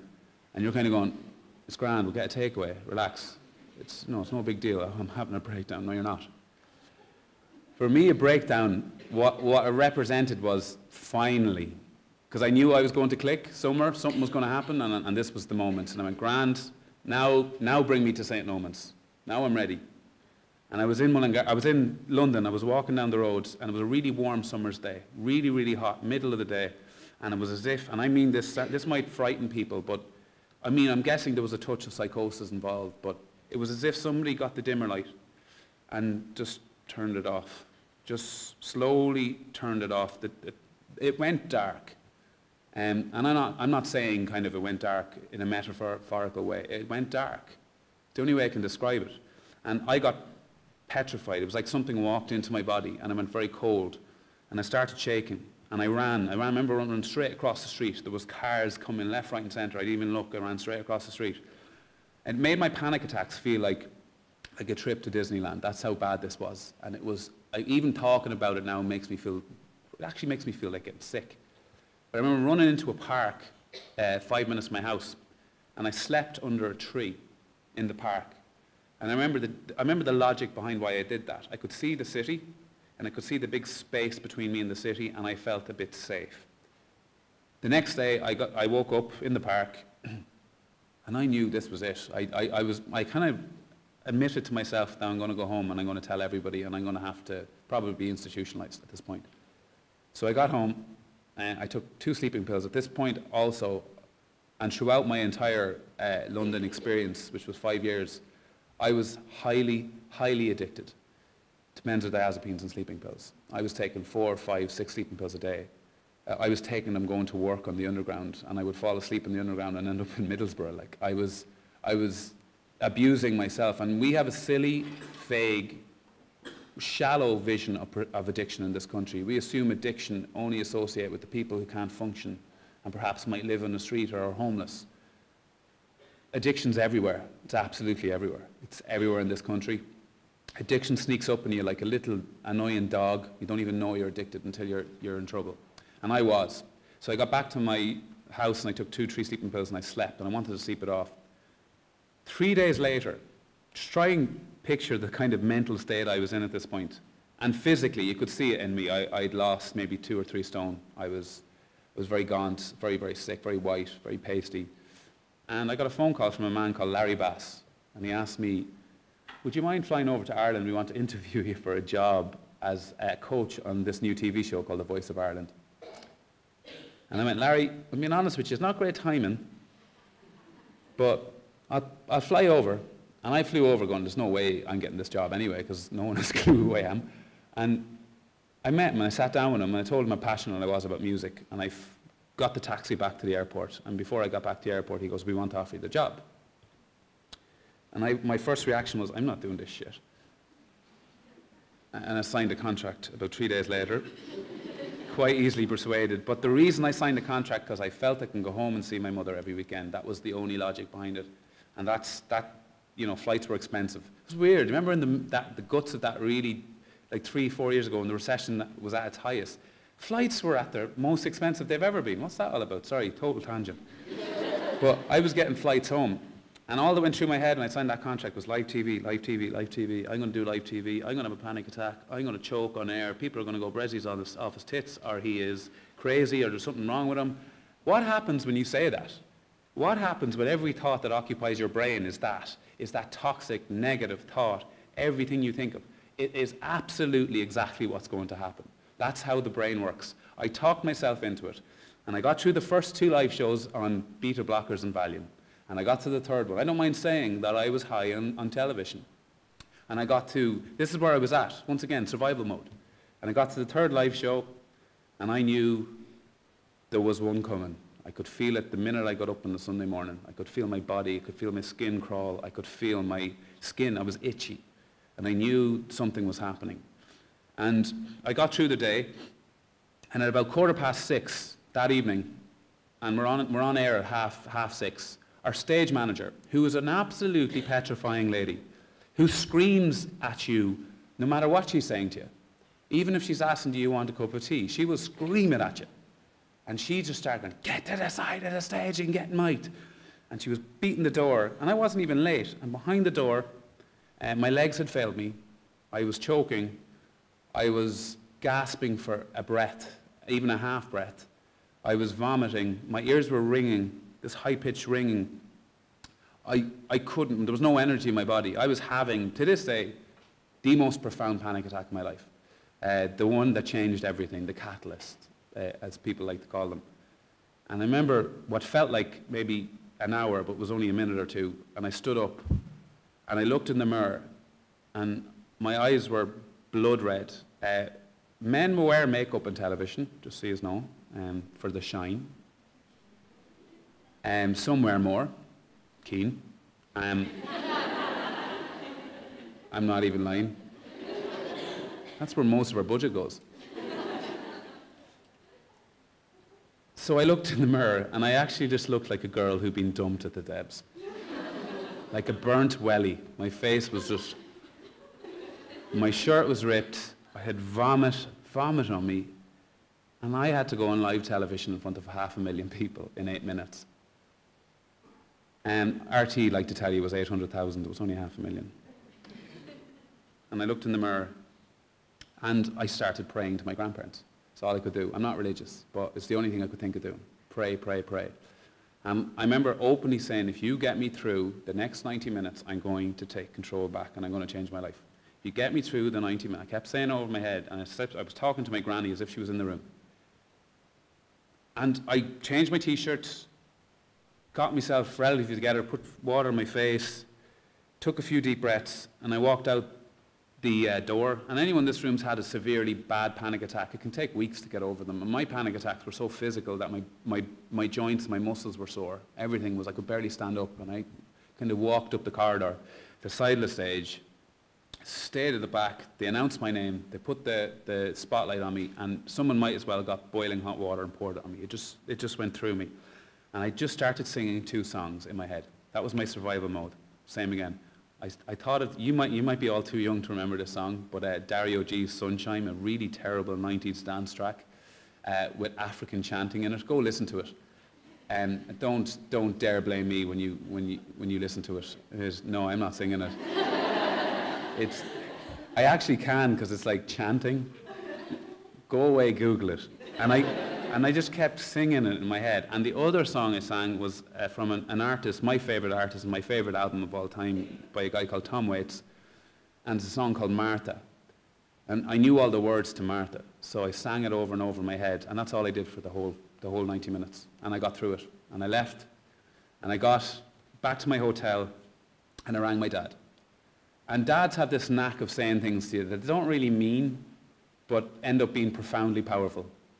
Uh, and my dad turned around to me and he said, you are the most competitive man I have ever met in my life. And he is right. I am sickeningly competitive. I used to push grannies out of the way at Mass at half 12 to get communion ahead of them. I just, apparently the first body of Christ is the best, so I was like, get out of my way. Sitting there. And, and, that, and he's right. That, that's me. Good or bad, that is me. It's a character trait I have. Um, I I, I don't mind losing anymore. That's the great part. I absolutely embrace failure. I'm very good at coming back from it, you see. But back, comp- being competitive is different. Competitive is wanting to be, wanting to succeed, but able to accept failure. And for me, he said that, and I, I got off the phone and I went, he's right. And that night, my whole entire life changed, everything about it, to the point now that I think, and I, I would put my hand up and say, I'm probably the ment- most mentally strong person I know, because I have to be. And I work on it every day, every chance I get. I work on my brain and my mind, and it's strong. And I'm, I'm, I'm able to do things now I never, ever would have dreamed of doing. And I sat, in a, I sat with a, two pieces of paper. This sounds really simple. And I named my depression. Because if I had somebody that I could be competitive with, like a person or something humanized, then I would be competitive with them. So I called him Jeffrey. Uh, I don't particularly like the name Jeffrey. Uh, I don't despise it, I just wouldn't call my child it. I don't mind Jeff, I just don't see the point with the second syllable. Um, and I told this story before the Irish-English rugby match last year to a predominantly English crowd. Jeffrey's essentially Paddy over there, so I offended the entire room. And what I put on a piece of paper, this sounds really simple. Everything I know Jeffrey loves, really loves. And another piece of paper, everything I know he absolutely hates. And in the middle, I wrote everything I think that we should do to get to the point where I can deal with it. Because I'd gone to counselling, and I remember walking into a counsellor in London, and it's genuinely just saying to her, fix me, after 10 minutes, nearly pulling, and this sounds, I'm not a violent person, but nearly pulling her over the table because she kept asking me the same question. And I was like, she's making me worse, she's making me worse. And I ran out. And that was, that was my relationship with therapy. I went, it doesn't work, lads. It's crap. You did it for nine minutes, Bressie. Cop on. So I put in the middle all these things that I had heard about that I wanted to try. Mindfulness. Very buzzy word, but I wanted to try it at a different level. I wanted to coach. In the same way I had a fitness instructor or a, a, triathlon coach, I wanted a mindfulness coach. I wanted to get good at. I looked at CBT, cognitive behavioral therapy, which we spoke about, which is probably the most effective thing I've ever done. Um, I looked at all the various elements of psychotherapy, hypnotism, everything, you name it, I looked at it. And I said, I'm going to give you your fair run of course. Things Jeffrey hated, toxic people. That was top of the list. I hate toxic people. I hate people who just go into a room and destroy people and bitch and tear their character apart and decimate them and create an environment of negativity, that makes me feel unwell. And I realized that over my life. That makes me deeply unwell. So I went to, and I'm not lying, quite a lot of my friends, and I told them I could no, long, no longer be friends with you. And they went, why? And I said, because I think you're toxic. And half of them went, you're a dickhead. and the other half went, am I, am I that bad? And I went, yes, you are. And they, they looked at their own behavior. And I looked at these are all the things I did. And I, I can't get into everything I did, but I promise you, I, I, I changed my life to the point that my sole purpose in life was to learn how to deal with this. I'm going to give you two things that I did. And I have to make a point that this is my story. And I do not expect anyone else to try this. Uh, and also, I don't expect everyone else's story is completely different, individual and complex. But what I did was, this is called the Forrest Gump technique. I was having panic attacks every night. Every night at the same time, 2 o'clock, I'd wake up with a sore throat, and within five minutes, I'd be on the floor choking. I was in the habit of it. My brain just wanted to do it. So I said, Jeffrey, I'm done with this crap. I don't like being woken up at 2 in the morning. I like sleeping. I really do like it. And I'm not into this, so I'm going to do something to really annoy you. So what I did was, I did the maths. What was happening? The adrenaline was going off in my body. My thoughts were going a million miles an hour rushing around, the cortisol was flushing through my body. What was I going to do? I was going to get rid of it. Put a pair of runners beside my bed, went to bed in running gear. The minute I woke up with a sore throat, I put on my runners and I ran. I went outside and I ran. And my neighbours, who already thought I was wired differently, said, that Bressie's out running again at 3 in the morning. And I would run and I'd run and I'd run until the pain went away. And I did that every night. First night was about 2 or 3K. I'm not much of a runner. I did that every night for 14 nights. And on the 14th night, I ran 38 kilometres. I ran a marathon in the middle of the night. It, I came back, I remember coming back, it was about half six, the sun was coming up, having a cup of tea and feeling calm. Absolutely wrecked, but calm. And the next night, something really strange happened to me. Very, very strange. I went to bed at 10 a.m. and I woke up, um, 10 p.m. and I woke up at 8 a.m. I slept the full night through. I've never done that. I don't know what it feels like to sleep a full night. Not at all, maybe three hours. I slept for 12. I woke up and my body just exploded. It just was this positive buzzing was the only way I could describe it. Not because I got 12 hours sleep, because I just realized, Jeffrey, I'm after kind of showing you that maybe I have an element of control here. And I can tell you with hand on my heart, from a man who was having them every night, every day, I have never had a panic attack at night again since that night. Uh, I still deal with anxiety attacks, but not those acute panic attacks that I was getting. I've never had another one. I literally think I scared the shit out of it, to be honest with you. I'm going to tell you another thing I did. And once again, these aren't things I'm telling you you should do. This is just an aspect of my story and how I took control back. The next thing, I have a phobia. You guys spoke about phobias. Phobias are in their very nature anxiety. Phobias are irrational thoughts of something that probably will never happen. And phobias are crippling. And everyone has one. And everyone in this room, if you tell me you don't have a phobia, you're lying. Anyone in this room have any problem getting up and talking on stage? Well, a lot of us do. It can be very nerve-wracking. Apparently the most nerve-wracking thing people can do. It Doesn't bother me anymore. But my biggest phobia is water. I dread it. I love drinking it. I dread swimming in it. Open water, the sea, the lake, the river. Hate it. I don't know why. I used to punch the head off my mother when she put me in a bath when I was a kid. Just couldn't do it. Hated it. And it was such a weird, irrational fear. Even, I wouldn't, put, I wouldn't get into the water in any capacity. My other phobia, which is on the same level, if not bigger, is fish. They are without doubt one of God's worst creations. They're horrific looking. Like, let's call a spade a spade here. They're awful looking things. And Irish fish are particularly unattractive. They're not the, the Finding Nemo, you know, coral reef, gold, tropical looking fish. They've got whiskers and bitchy resting faces, and they're ballsy. They'll swim right beside you. And I hate them. I absolutely hate them. So what did I do? I sat down on my laptop and I said, Jeffrey, you're going to hate this, but we're doing an open water sea swim race in eight weeks. Two kilometres out to sea and two kilometres back.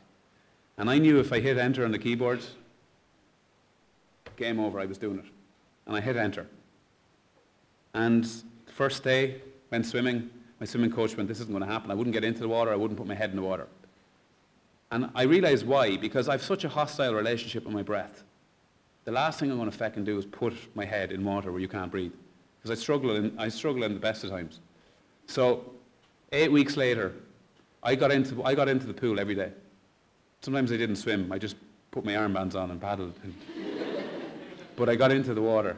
And eight weeks later, I stood in High Rock Pier in Malahide about to do my first open water sea swim. And this was the best part because at this point I had engaged so much with CBT, so much with mindfulness, visualization techniques, so much with all these different things. I was the most relaxed person on the pier. Everyone else was crapping it. And I was sitting there like this, getting my breathing in order, and everyone's like, he is ridiculously calm. And I was. And I actually was so happy. It was so weird. I was so proud of myself. I was like, this is it. Showed you how far I had come. Until some guy walks up to me and says, Bressie, just letting you know, um, the seals are mating in Dublin Bay at the moment, and they're getting confused with the swimmers in wetsuits. Sorry? And he said, just slap their tail if they come near you. now, I hadn't been taught that one in CBT, if I'm being honest. and I got into the water. I didn't swim. I just did whatever I thought would put a seal off. I just flapped. I just did not want a seal to find me attractive. That's, that was all I wanted to do. But I swam, and I'm pretty sure I broke the open water sea swim record. And I got out of the water first. I had swum four kilometres, and I got out in front of everybody else who'd been swimming for, for, for years. I think the phobia of having sex with a seal was up there. But it was also because I was, I was fit and I was strong and I was actually resilient. And something happened that day when I drove back into Dublin. Uh, and I don't want to oversell this, but I think it's important I point this out. And it's not a home and away slow motion moment or any of that kind of thing. But I have never felt self-compassion. I didn't know what it felt like.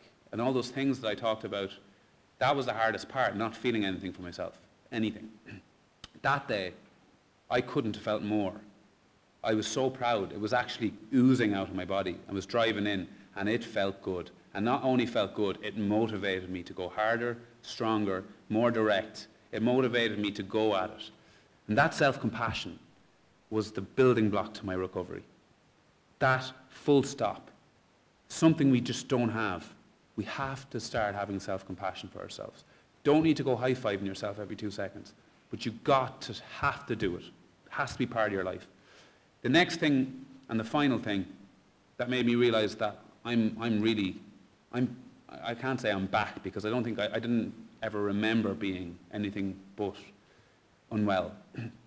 but I remember as a child feeling love, what it felt like. And I did a triathlon in Kilkenny, my first triathlon. And I do a lot of triathlons now. I, I use them, I find them very effective for me personally to deal with my anxiety levels. And I did, I did one in, in Kilkenny, and I came over the line, and my sister, who just had a, a her nep- my nephew about two years before that, and it was one of those, you know, really magic moments for our family that when she, when she had Billy. But I remember when I got over the line, she handed me Billy. She put him over the thing, and I remember picking him up and feeling love, feeling it to the core of my stomach, feeling it, like absolutely embracing him. And he was smiling and actually going, this is the best feeling I've ever felt in my life.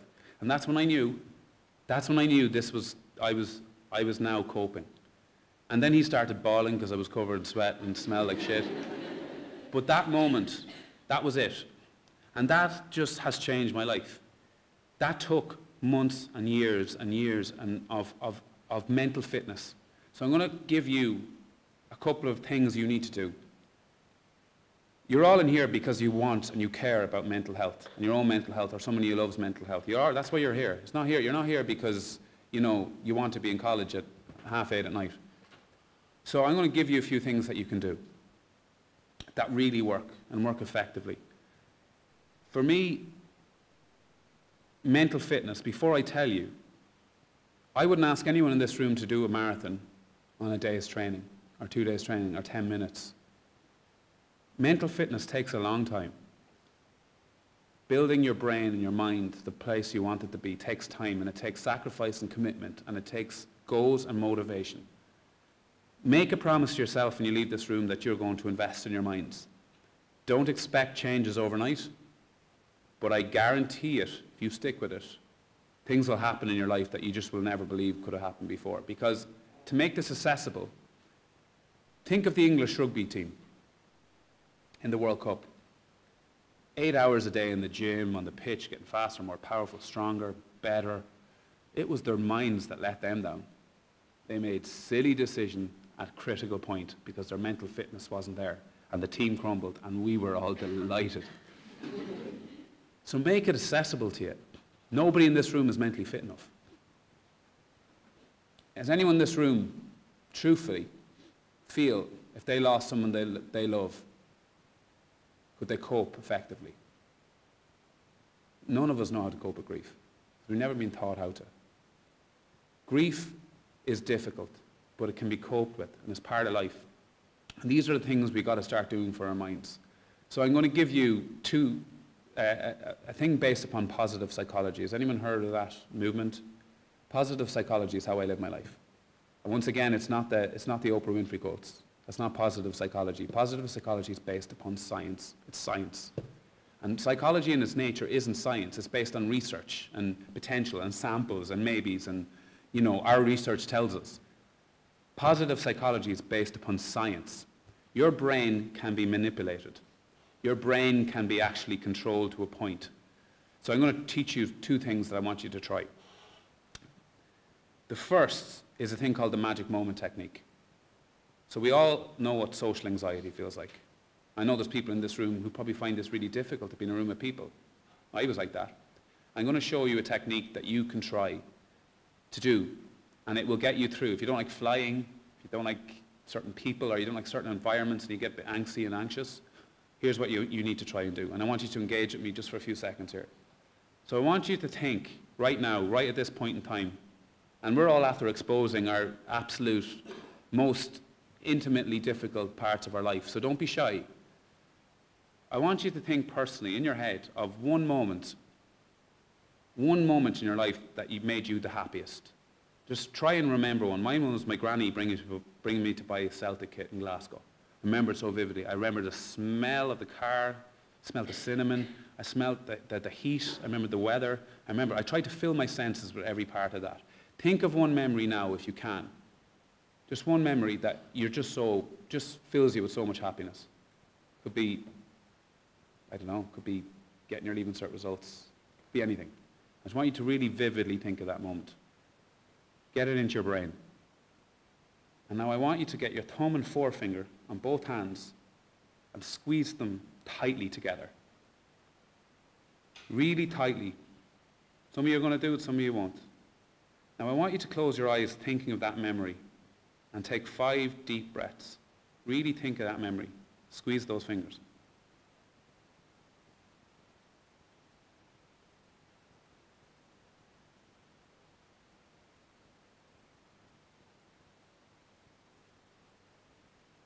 Now, did anyone actually feel bad doing that? What I want you to do is do that every night for four weeks, just before you fall asleep. Five breaths, fingers, every night for, five, for four weeks. After four weeks, your brain is going to be in a pattern of every time you do that, you don't have to close your eyes. You can just do that like this. Your heart will calm down, your brain will calm down. You'll be able to deal with social anxiety. telling you. I've seen it work with thousands. I do it all the time. I go into schools that I've worked in. when I'm talking to them, they're not even listening to this. It's amazing. So that's the first thing I want you to try for four weeks. It takes four weeks for that to get into your head, into your brain, into your subconscious. Watch what happens. Don't do it. Can't force you. Try it. Watch what happens.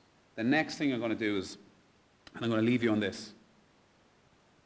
I want you to write down on a piece of paper today or tomorrow how you feel truthfully, honestly, to the core of your stomach, not for anybody else, on a real piece of paper with a real pen. And I want you to write down how you feel. It's, it's for nobody else. Nobody should see this. Your self-esteem, your confidence, your ambition, you know, your family, everything. It could be a page long, it could be 50 pages. And I want you to put it beside your bed. And I want you to live by these next five commandments for the next 10 days for 10 days. This is a 10-day program, and I want you to come back to that piece of paper in 10 days and see how you feel. The first one, limit yourself or absolutely avoid toxic environments for 10 days.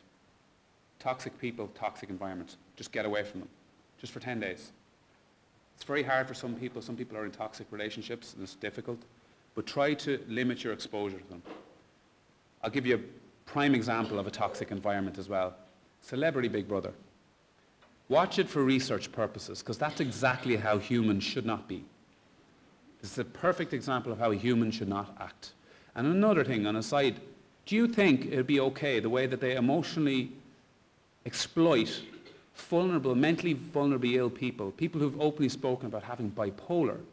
Do you think it's okay that TV producers can exploit them and put them on TV and slowly watch them crumble to have a breakdown I don't find it in any way rewarding to watch a person having a breakdown on television.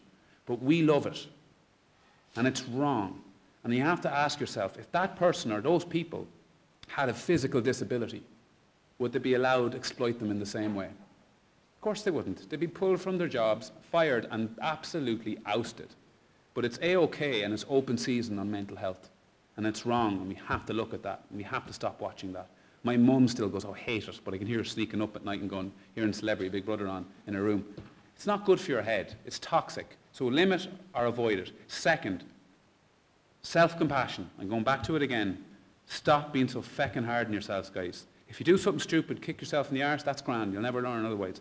But do something once a day that when you go to bed at night, when you go to bed and you're about to fall asleep, I want you to be able to say, well done, that was a good thing to do. It could be making tea for somebody, or it could be saving someone's life.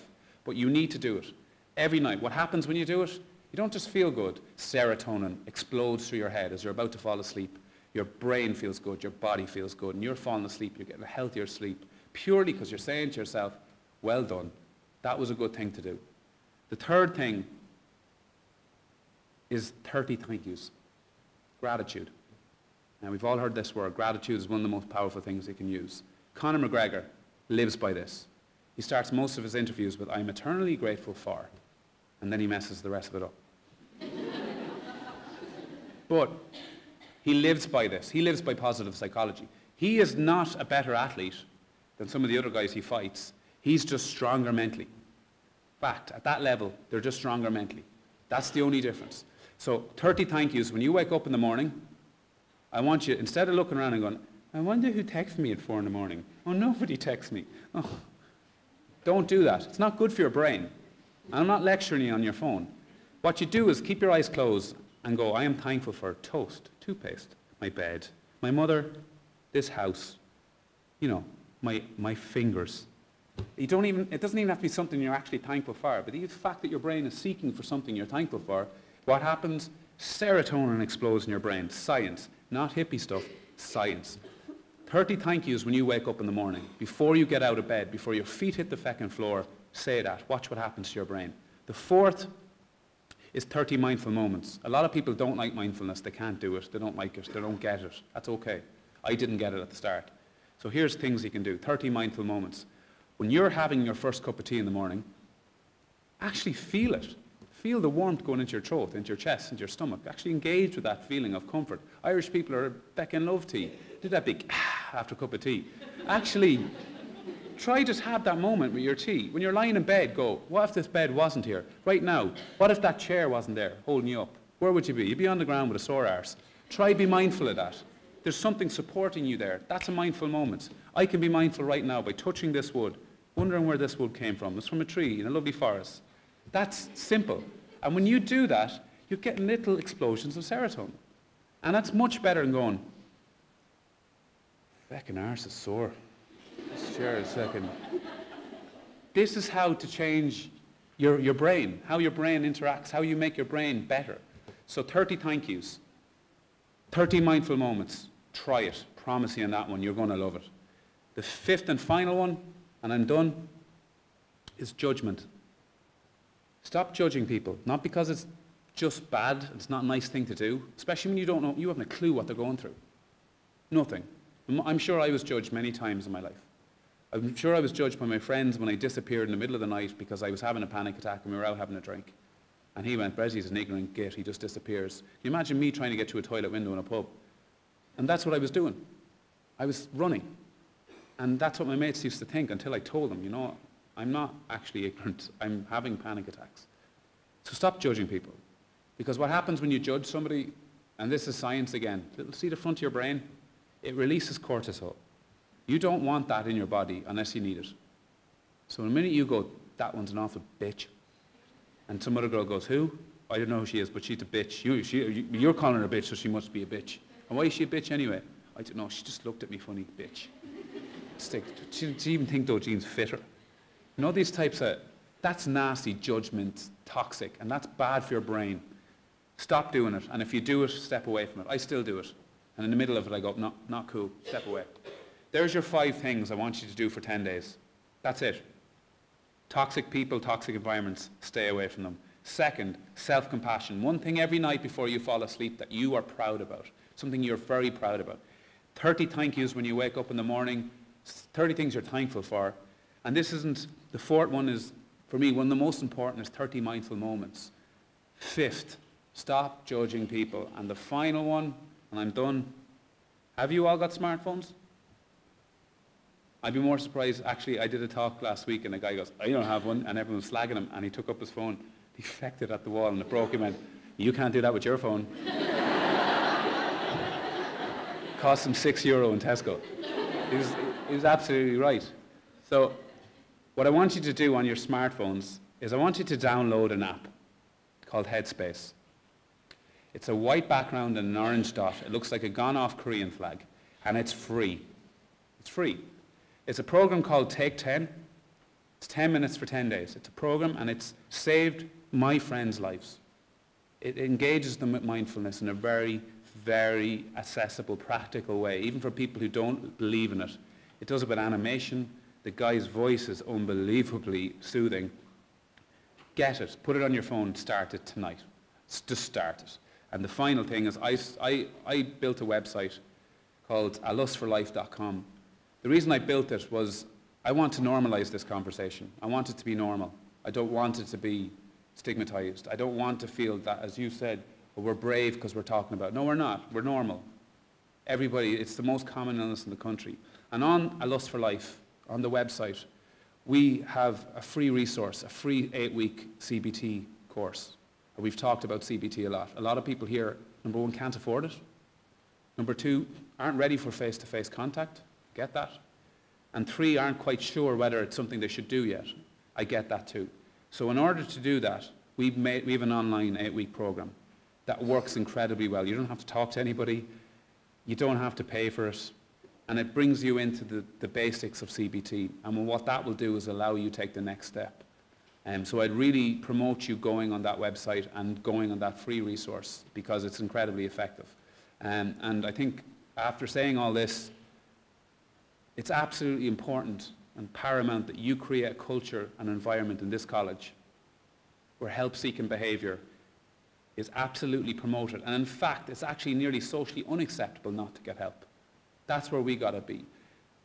The one thing I'm going to say, if I ask anybody in this room, if, if, you were, if you had a chance to save somebody's life, if they were falling or they were about to be hit by a car and you could push them out of the way, is there anyone in this room who wouldn't take that chance? Is there anyone in this room who wouldn't save someone's life if they could save it? That's what we're dealing with here, guys. Make, be realistic here. You have the potential, everyone in this room, to save a person's life by creating a culture, and an environment where they don't feel isolated, they don't feel lonely, they feel they can get help, they don't feel like a complete and utter freak like I used to. You can do that, and only you, not the government, not me coming in talking, none of that. It's up to you as individuals to create that, and you have a responsibility to do that. And if one of your friends turns to you at any stage and says to you, I need help, or I'm really low, take that as the greatest compliment you will ever be paid. Because they see you as someone they trust, they see you as a good person, they see you as somebody that will help. You can't save them, it's not your job to. Your job is to support the scaffolding, the emotional scaffolding for people. That's what you got to be. We all have a responsibility here, guys, every one of us. We all have a responsibility to save people's lives. And we're starting to do it. Three years ago, this wouldn't have happened. Three years ago, I wasn't allowed to go into schools to speak about it. Look what's after happening in three years, because it needs to happen because we've lost too many people. Thanks a million.